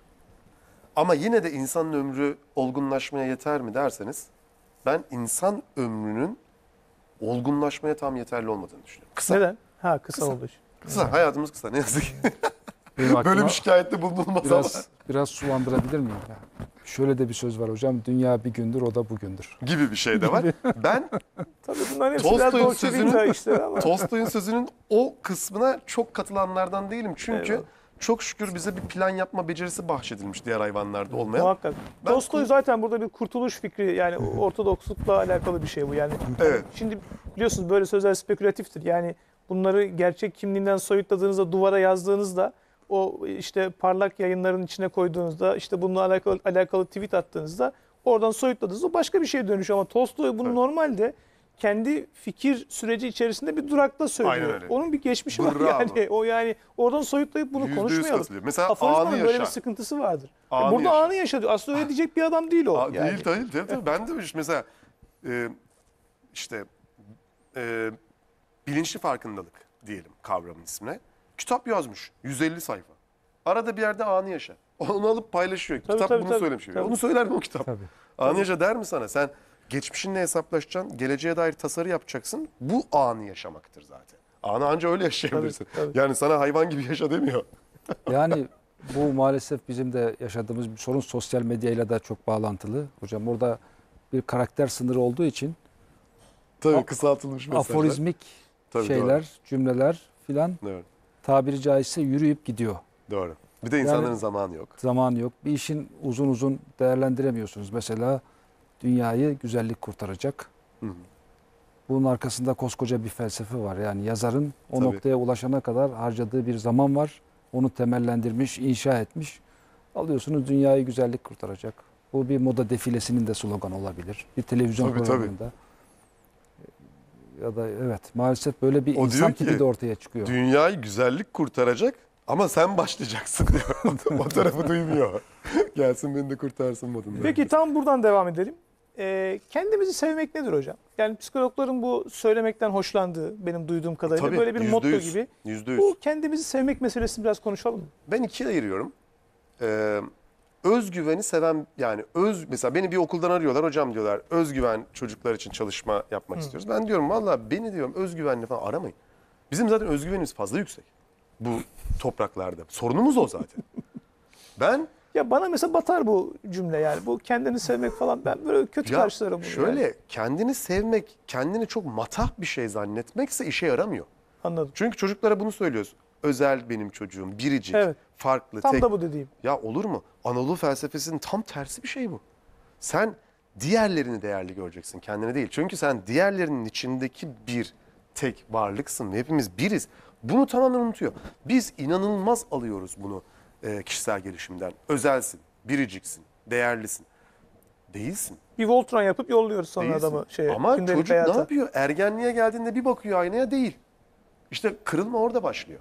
Çocuk ondan sonra biricik özel ve değerli olduğunu kanıtlama çabasına giriyor. O zaman ne yapacağız bu kendimizi sevmek? Öz Kendimizi saygı. sev- Öz saygı. Öz saygı. Ne zaman kendini seversin? Yardım ettiğinde. Ne zaman kendini seversin? Minnettarlığı ifade Yani ettiğinde. bir başkası için bir iyilik yaptığında Tabii kendini ki, seversin. Tabii ki. Bakın kendini sevmek, şükretmek, minnettarlık, yardım davranışları, sabır bunlarla korele. Gidip de işte en güzel saati aldım kendime. Çok para verdim ama kendimi çok... Değil bu saçmalık. Yatırım yaptım manyak herif yani. Yatırım yatırım o kadar yatırım. Kendini sevmekle Yani alakası var? Kendini sevmekle alakası yok. İşte kendimi şımartmak için bin, kocaman bir pizzayı ağzıma soy. Hayır bu değil. Sen çevrenle kurduğun ilişkideki yapıcı tavrınla kendini seversin. Çünkü kendini de diğerinin gözüyle görürsün. Ya sen kendini seviyorsun ama kimse seni sevmiyor. O zaman sen kendini sevemezsin. Çok iyi. Bir de Bu ke- yani. kendini ödüllendirmek diye bir şey duyuyoruz Aha. hocam. O nedir Tabii acaba? tabii işte. Büyük bir dondurmayı hak ettim diye? Tabii, tabii. Mesela bakın o dondurma hikayesi bile şimdi yanlış bir şey de söylemek istemiyorum ama o dondurmanın çikolatasının kırılmasında çıkan sese katılan erotizm bile duygu Tabii. manipülasyonu. Duygu O manipülasyonu. reklamlarda meşhur. Tabii tabii. Yani o acayip şekilden şekile girip falan. Ya sonuçta dondurma yiyorsun ya. Bir dur kardeşim Ha ya. dondurma yiyorsun yani. Bu kadar. Şimdi, şimdi niye öyle? Çünkü zaten reklamların yani bir malı reklam ile satmanın altyapısı manipülasyona dayalı biliyorsunuz. Evet, yani öyle. işte bir evinizi sinekler basar eğer bu ilacı kullanmazsanız. Yani Tabii. eğer bu yatağı almazsanız bu yatağınız kırılacak. Bu koltukta oturamayacaksınız eğer bu koltuğu almazsanız. Yani hep zaten sizde var olan şeyin e, yenisini koyması için e, yerine o eski olanı değersizleştirmesi lazım. Oysa bizim geçmiş dünyamızda eski olan değerliydi. Eski olan bizimdi. Yani eskiye karşı bir saygı çerçevesinde yaşıyorduk biz. Yani mesela unutmayın ben e, onu hep çok söylerim. E, mesela eski dünyanın alışkanlığı şöyle bir şeydi. Ev, evde bir kuş kafesi varsa e, o kuş kafesi işte sağa sola kirletmeye başlıyorsa eğer kuş zamanla yani yediklerini sağa sola atıyorsa e, onun etrafında bir çorap gerilirdi. Ya da işte Evet. kullanılmayan bir giysi onun etrafına dikerlerdi ki diyelim o giysinin orada bir yeri olurdu ama şimdi biz o kullanmadığımız şeyleri çıkartıyoruz hayatımızdan atıyoruz. Tabii, ama tabii. zaten bu hayatımızdan sürekli bir şeyi çıkartmak, çöpe atmak da anladığım kadarıyla siz daha iyi bilirsiniz.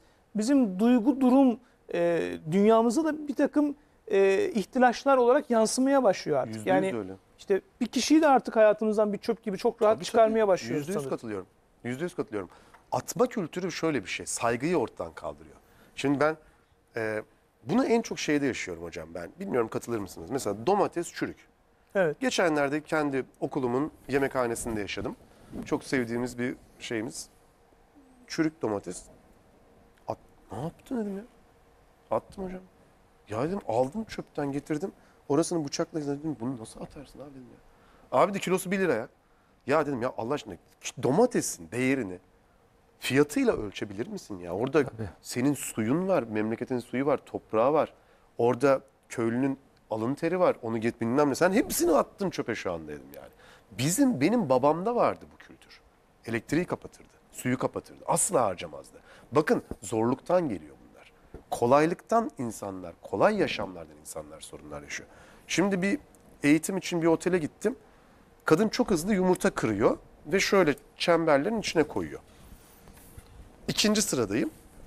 Sarısı dağılan yumurtaları alıp torbaya atıyor.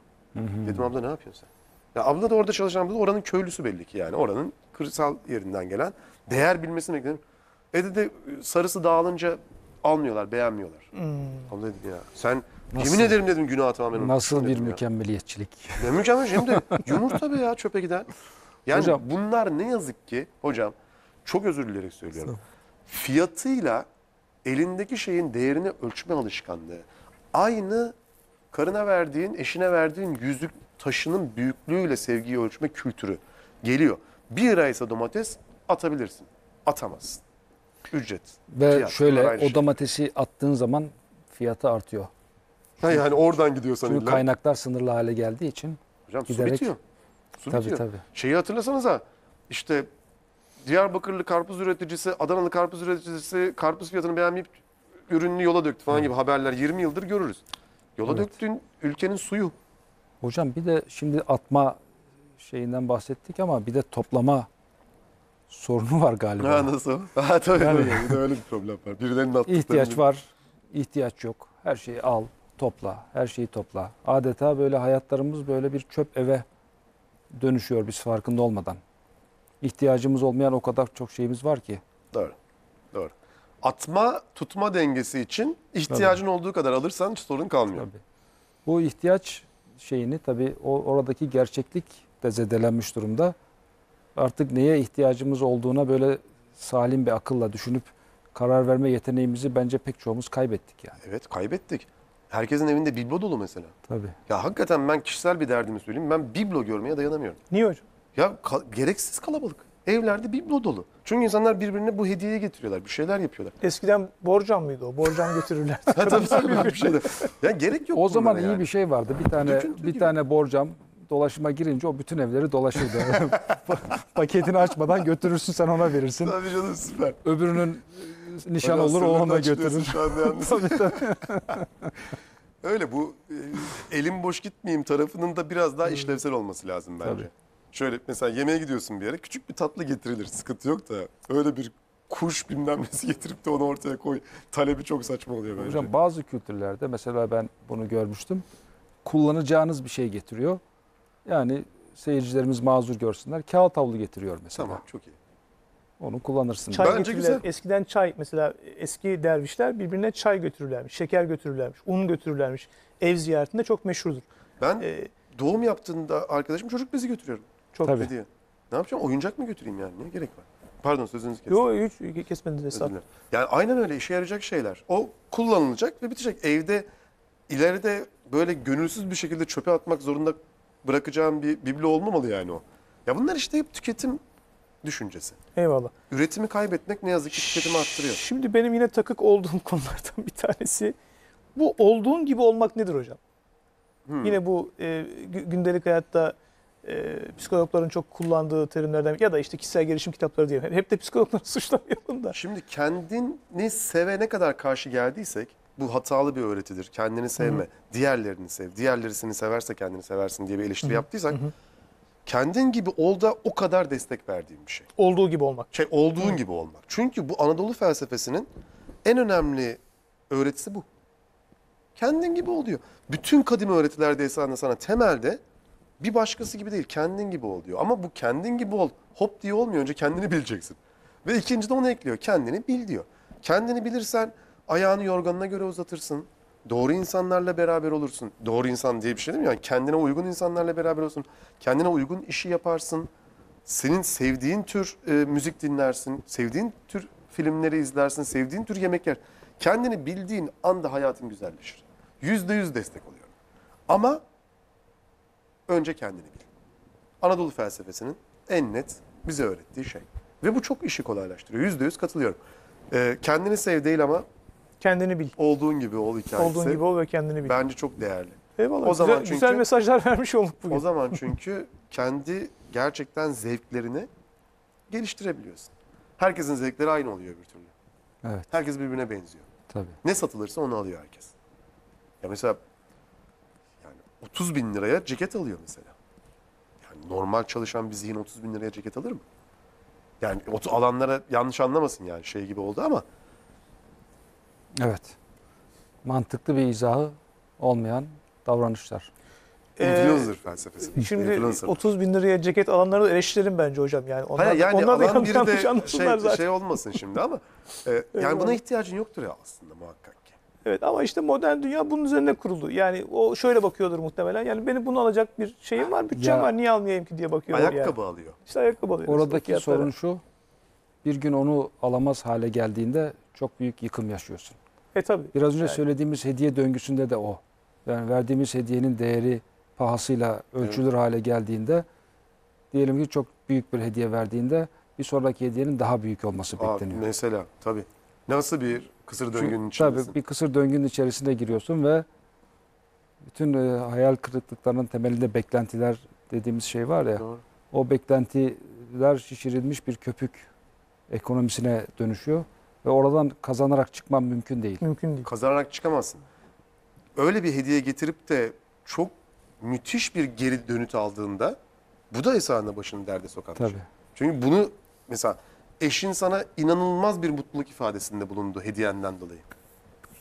Çok zor işin verdi. Gerçekten çok zor işin. Çünkü artık sürekli bunun e, derecesini arttırman gerekecek. O yüzden manevi duygular dediğimiz şeyin içinde zaten çok bu konuya takıldık ama yani Çıkalım bu konudan o zaman. Çıkalım. Anladım. Şöyle diyelim. Şimdi aslında şöyle çıkalım bu konudan. Bütün bu konuştuklarımız büyük şehir insanının dertleri bir anlamda. Tabii bunlar küçük Evet. şehirlerde de var. Yatsımıyorum ama e, genelde bunların hepsi büyük şehir insanının dertleri. E, ben yıllar önce yazdığım bir yazıda insan küçük şehre göre demiştim. Yani hmm, varlık, insan e, aslında küçük şehre, şehre göre bir varlıktır demiştim. Çünkü yani şimdi bütün bu konuştuklarımızı alıp buradan soyutlayıp bu tarafa koyduğumuzda, somutlayıp küçük bir şehre, şehirdeki yaşamın içine koyduğumuzda e, konuştuğumuz birçok şey halloluyor aslında.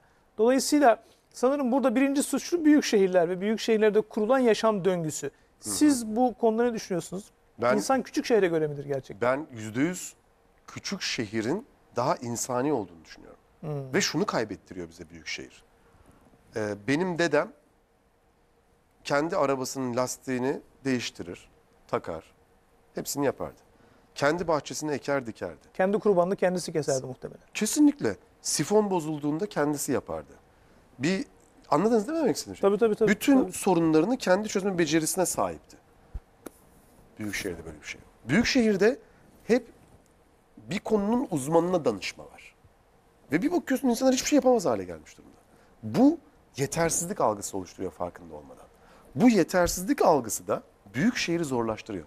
Evdeki sifon bozulduğunda Allah ne yapacağız şimdi o kadar uğraş bekle. Yapsana ya. Ya öğren yap. Yok, sonuçta 15 dakika sürecek öğrenmem ve bunu yapmak. Ya da işte pıt pıt bir şey damlatıyor. Perişan oluyor. Ne yapacağız işte nasıl çağıracağız ne kadar gidecek ne kadar para gidecek falan. E yap kardeşim. Velhasıl insanlar e, becerilerini geliştirebilecekleri bir ortam bulamıyorlar büyük şehirde. Ama küçük şehirde kendi sorununu kendin çözmen gerektiği için bu süreç insanı daha geliştiriyor. Bir de oranın zaman dilimi daha farklı işliyor büyük şehre göre. Yüzde yüz daha farklı. Stres yok, bir şey yok. Bir şey Stres yok. acele acele, Ve iş- bir aceleye şey gelme var. yok. Bir şey yapıyorsun. Mesela çoban gider koyunuyla 7-8 saat geçirir. Ama bu aynı zamanda hem iştir hem de bir yaşam biçimidir. Şimdi büyük şehirde hiç kimse yaşam biçimi olarak bir iş yapamaz. Hiçbir çocuk maden mühendisi olma hayali kurmaz esasında. Ya da atıyorum e, maden mühendisi demeyelim de çevre mühendisi ya da fark etmez.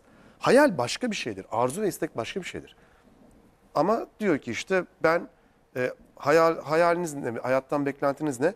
İşte iş yerinde müdür yardımcısı olmak. Ya bir insan türüne ait bir canlının hayali iş yerinde müdür yardımcısı olmak olabilir mi? Tabii. Bu saçma sapan sana öğretilmiş bir şey. Bu mesleğinle ilgili bir kariyer planı. Senin hayal. İşte küçük şehre gittiğinde insan zihni bu tür illüzyonlara düşmüyor. Orada Çünkü orada başka bir zaman dilimi işliyor. Başka bir zaman. dilimi. müdür olmak istemeyerek mütevazı davranmış. Ha bir de öyle bir şey var. Yok bir sonraki aşama o. Şimdi diyor ki 12 yaşında yeğen ya şu fizik sınavını bir geçersem diyor başka hiçbir sorun kalmayacak hayatımda diyor. Ama her soruna öyle bakıyor. Ne, ne sınavlar, ne sınavlar Ne sınavlar, geçireceksin sen. tabii. Nedir o? Hocam bu pandemi bir pandemi yaşıyoruz tabii. Psikolojimiz bozuldu mu? Psikoloji bozulur mu? Öyle sorayım. Bozulur. Bozulur. Pandemide bizim psikolojimizi bozan şeyleri araştırdık. Ve nelerin koruduğunu araştırdık. Size bir soru sorayım.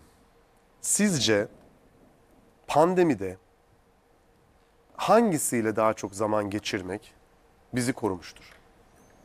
Şıkları veriyorum. Çocuk, akıllı telefon, ev bitkisi, evcil hayvan. Hangisi daha çok koruyucudur? Buyurunuz. Ben çocuk derim. Çocuk dediniz. Hani ben de çocuk diye düşündüm bir anda. İkinci bir seçenek var mı? Hani e, evcil hayvan olabilir herhalde. Şöyle hocam e, evcil hayvan da olabilir ama bitki olabilir ama belli bir süre sonra bitki sizinle konuşmaya başladığında sorun çıkıyor. Sizin kapınıza dayanabilir. O zaman sorun olabilir. Şimdi öyle bir durum var ki biz sarılmayı, temas etmeyi, dokunmayı hayatımızda ilk kez yasaklandı. Hmm. İlk kez yasaklandı. Kime dokunmamız ve sarılmamız yasaklanmadı? Hayvanlara. Çünkü oradan oraya geçmiyor dendi. Evcil hayvan sahibi olmak ve o hayvanla temas etmek mesela pandemide koruyucu etki yaptı. Neymiş ihtiyacımız? Temasmış. Çocuk nasıl etki yaptı? Çocuk pandemi stresini arttırıyor çıktı. Ama sonra çocuklardan bulaşmıyor deyince de bir rahatladık yani çocuklara. Ama, Ama yine yine de tabii risk var. tabii risk Evet. var. Bir de çocuk e, yani kimse yanlış anlamasın ama 3 yıldır kreşe giden çocuğu eve kapattığında sen kreşteki hocanın değerini anlıyorsun. Doğru. Aa, Doğru. diyorsun Allah razı Doğru. olsun o kadıncağızdan diyorsun yani erkekten. Neler yapmış? Nasıl dayanmış buna? Çünkü çocuk sürekli etkinlik istiyor. Hareketli. Arttırıyor çıktı. Ev bitkisinde de şöyle bir şey var. İnsanlar ev bitkileriyle bağ kurmuyorlar. Evet. Onu biblo gibi kullanıyorlar. O yüzden çıkmadı belki. Bir diğerini sorayım. Ee, evde nerede zaman geçirmek pandemi stresini azaltır? Mutfak, balkon, kişisel oda, bahçe. Yani burada bana bahçe ve balkon daha iyi gibi geliyor. Güzel. Hocam. Mutfak tabii biraz daha ağırlık kalıyor. Rejimiz de şu an mutfak diyor kesinlikle diyor. Siz söyleyin. Valla ben bahçeyi seviyorum Bahçe. yani. Bahçe İkiniz de olayı. doğru diyorsunuz. Bahçesi olanlar tabii öncelikle bahçesi olması lazım ama iki türlü bahçe oluyor. Şimdi böyle deyince bahçemiz var falan zannedebilirler de öyle bahçemiz falan da yok. Hocam iki tür bahçe var. bir gelir düzeyi çok düşük olanların bahçesi var. Bir de gelir düzeyi çok yüksek olanların ha doğru bahçesi ortasının var. bahçesi yok. Zaten Doğru, orada doğru. yok Doğru, çok- apartmanda. bir şekilde bahçeye çıkmayı başarabildiysek bu koruyucu etki yaptı. Mutfak stresi arttırıyor. Ya Evet. zaten en başta hocam herkes bir şey oldu. Birbirine pasta tarifi verenler, ekmek ekmek yapanlar. Mutfak bir de tehlikeli. Çok fazla kesici ve delici Hem öyle alet var yani. bir de mutfakta sen girdiğinde evdekiler bir performans bekliyor. Doğru. O performansı da Stres yani. gösteremiyorsun. Ya diyor eşim diyor ki ya bu adam mutfağa girdi bakalım ne yapacak, ne geliyor diye. Ayrıca strese giriyor. Sen çünkü kötü bırakıyorsun mutfağı dağıtmış falan gibi. Velhasıl o mutfak işte gidin gelin şunu yapın düşünceleri doğru çıkmadı. Çünkü şurada şöyle bir hata yapıldı. Benim meslektaşlarım da yaptı aynı hatayı. Evdesiniz işte kendinizi böyle oyalayın, dil öğrenin, müzik aleti çalın, ekmek yapın. Evinizi sevin falan böyle. sürekli olarak bir tabii. etkinlik, sürekli bir oyalanmayı önerdiler. Oysa ki pandeminin bize öğrettiği en iyi şey can sıkıntısıyla da zaman geçirebilirsin. Oturabilirsin, durabilirsin. Bir dur bakalım kardeşim ya İspanyolca öğrenme hemen. Hemen ekmek yapma bir dur. bir dur bak. Dünyada insanlar ölüyor. Bunu diyebilmek çok önemliydi o süreçte. Ee, biraz argo bir tabir olmakla birlikte biraz da tabii haksız ama maymun iştahlı Evet evet tabii. dediğimiz. Tabii. İnsanlar pek çok şeye heves ettiler bu süreçte Evet. ve çok kısa bir süre içerisinde onlardan da vazgeçtiler. Vazgeçtiler ama strese girip kendilerini sıktılar. Ee, Pandeminin stresini daha çok yaşadılar. Mutfağa Tabii. girip ekmek yapmaya çalışan kişi. Al yaptım işte. Bademli ekmek. Ee, insanlar elini süremiyor çünkü çok rezil bir şey olduğunu tahmin ettikleri için. Nasıl yenecek bu şimdi? Ay yapmış be. Titriyor ekmek tam olmamış falan.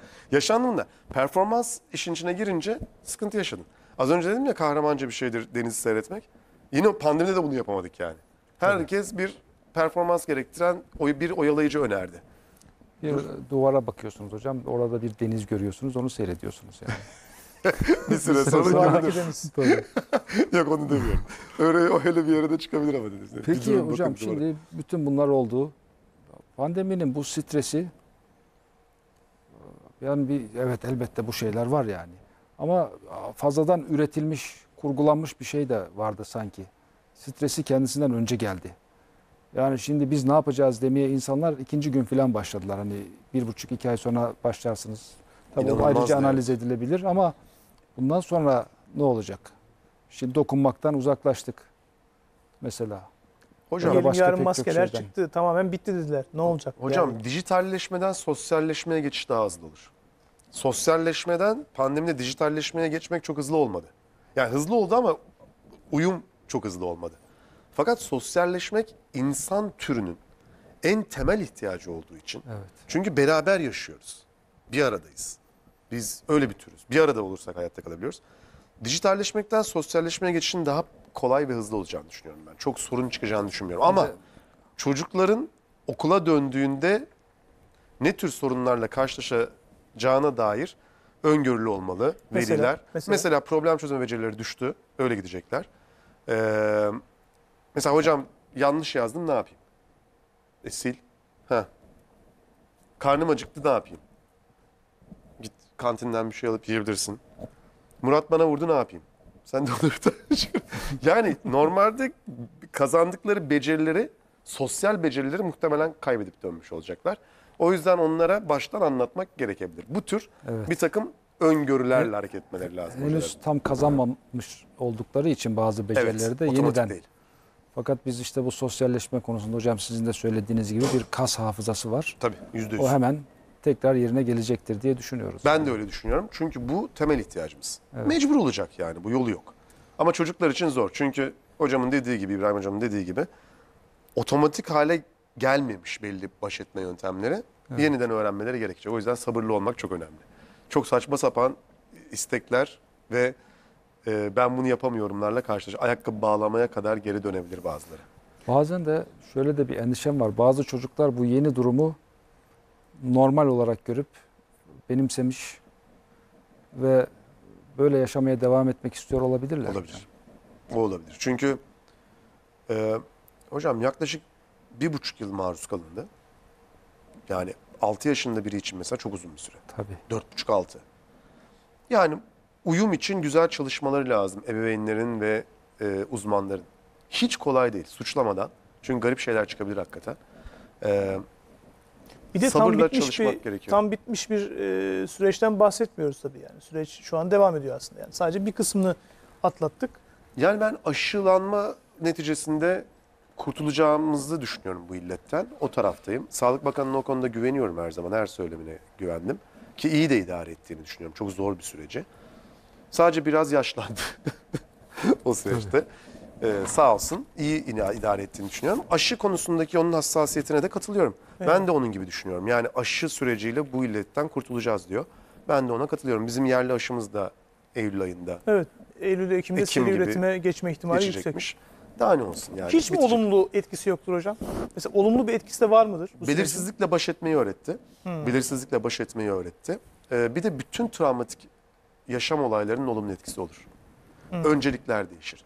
Mesela insanlar hayatta gözle görülemeyen ufacık bir şeyin onu bir yıl eve kapatabileceğini öğrenmiş oldu.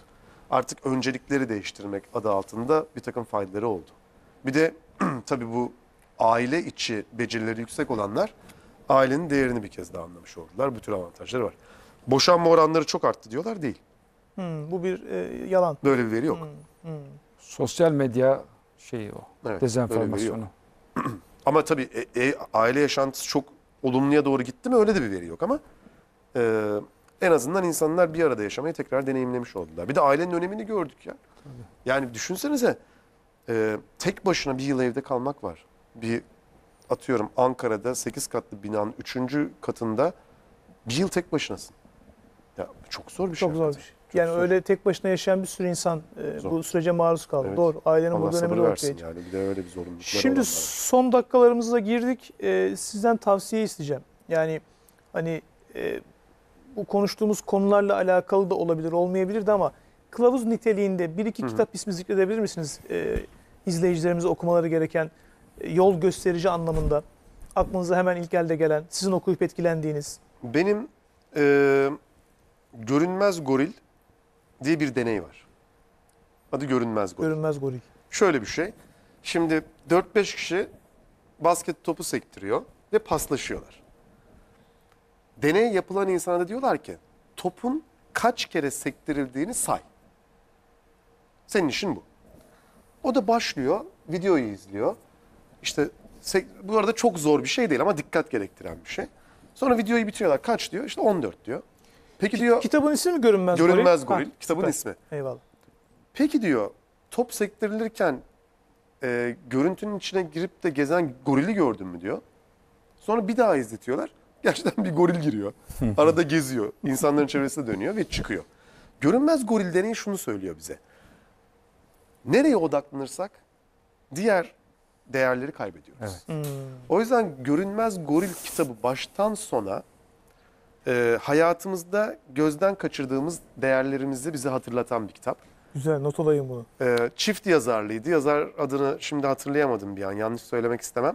Ama böyle bir deneye bağlı bir kitap olduğu için onu Evet. öneririm. Şimdi arkadaşlarımız hemen bakıp bize söylerler. Tamam, Goril. Güzel bir tarafı bu Derrida'da da vardı, İbn Arabi'de de.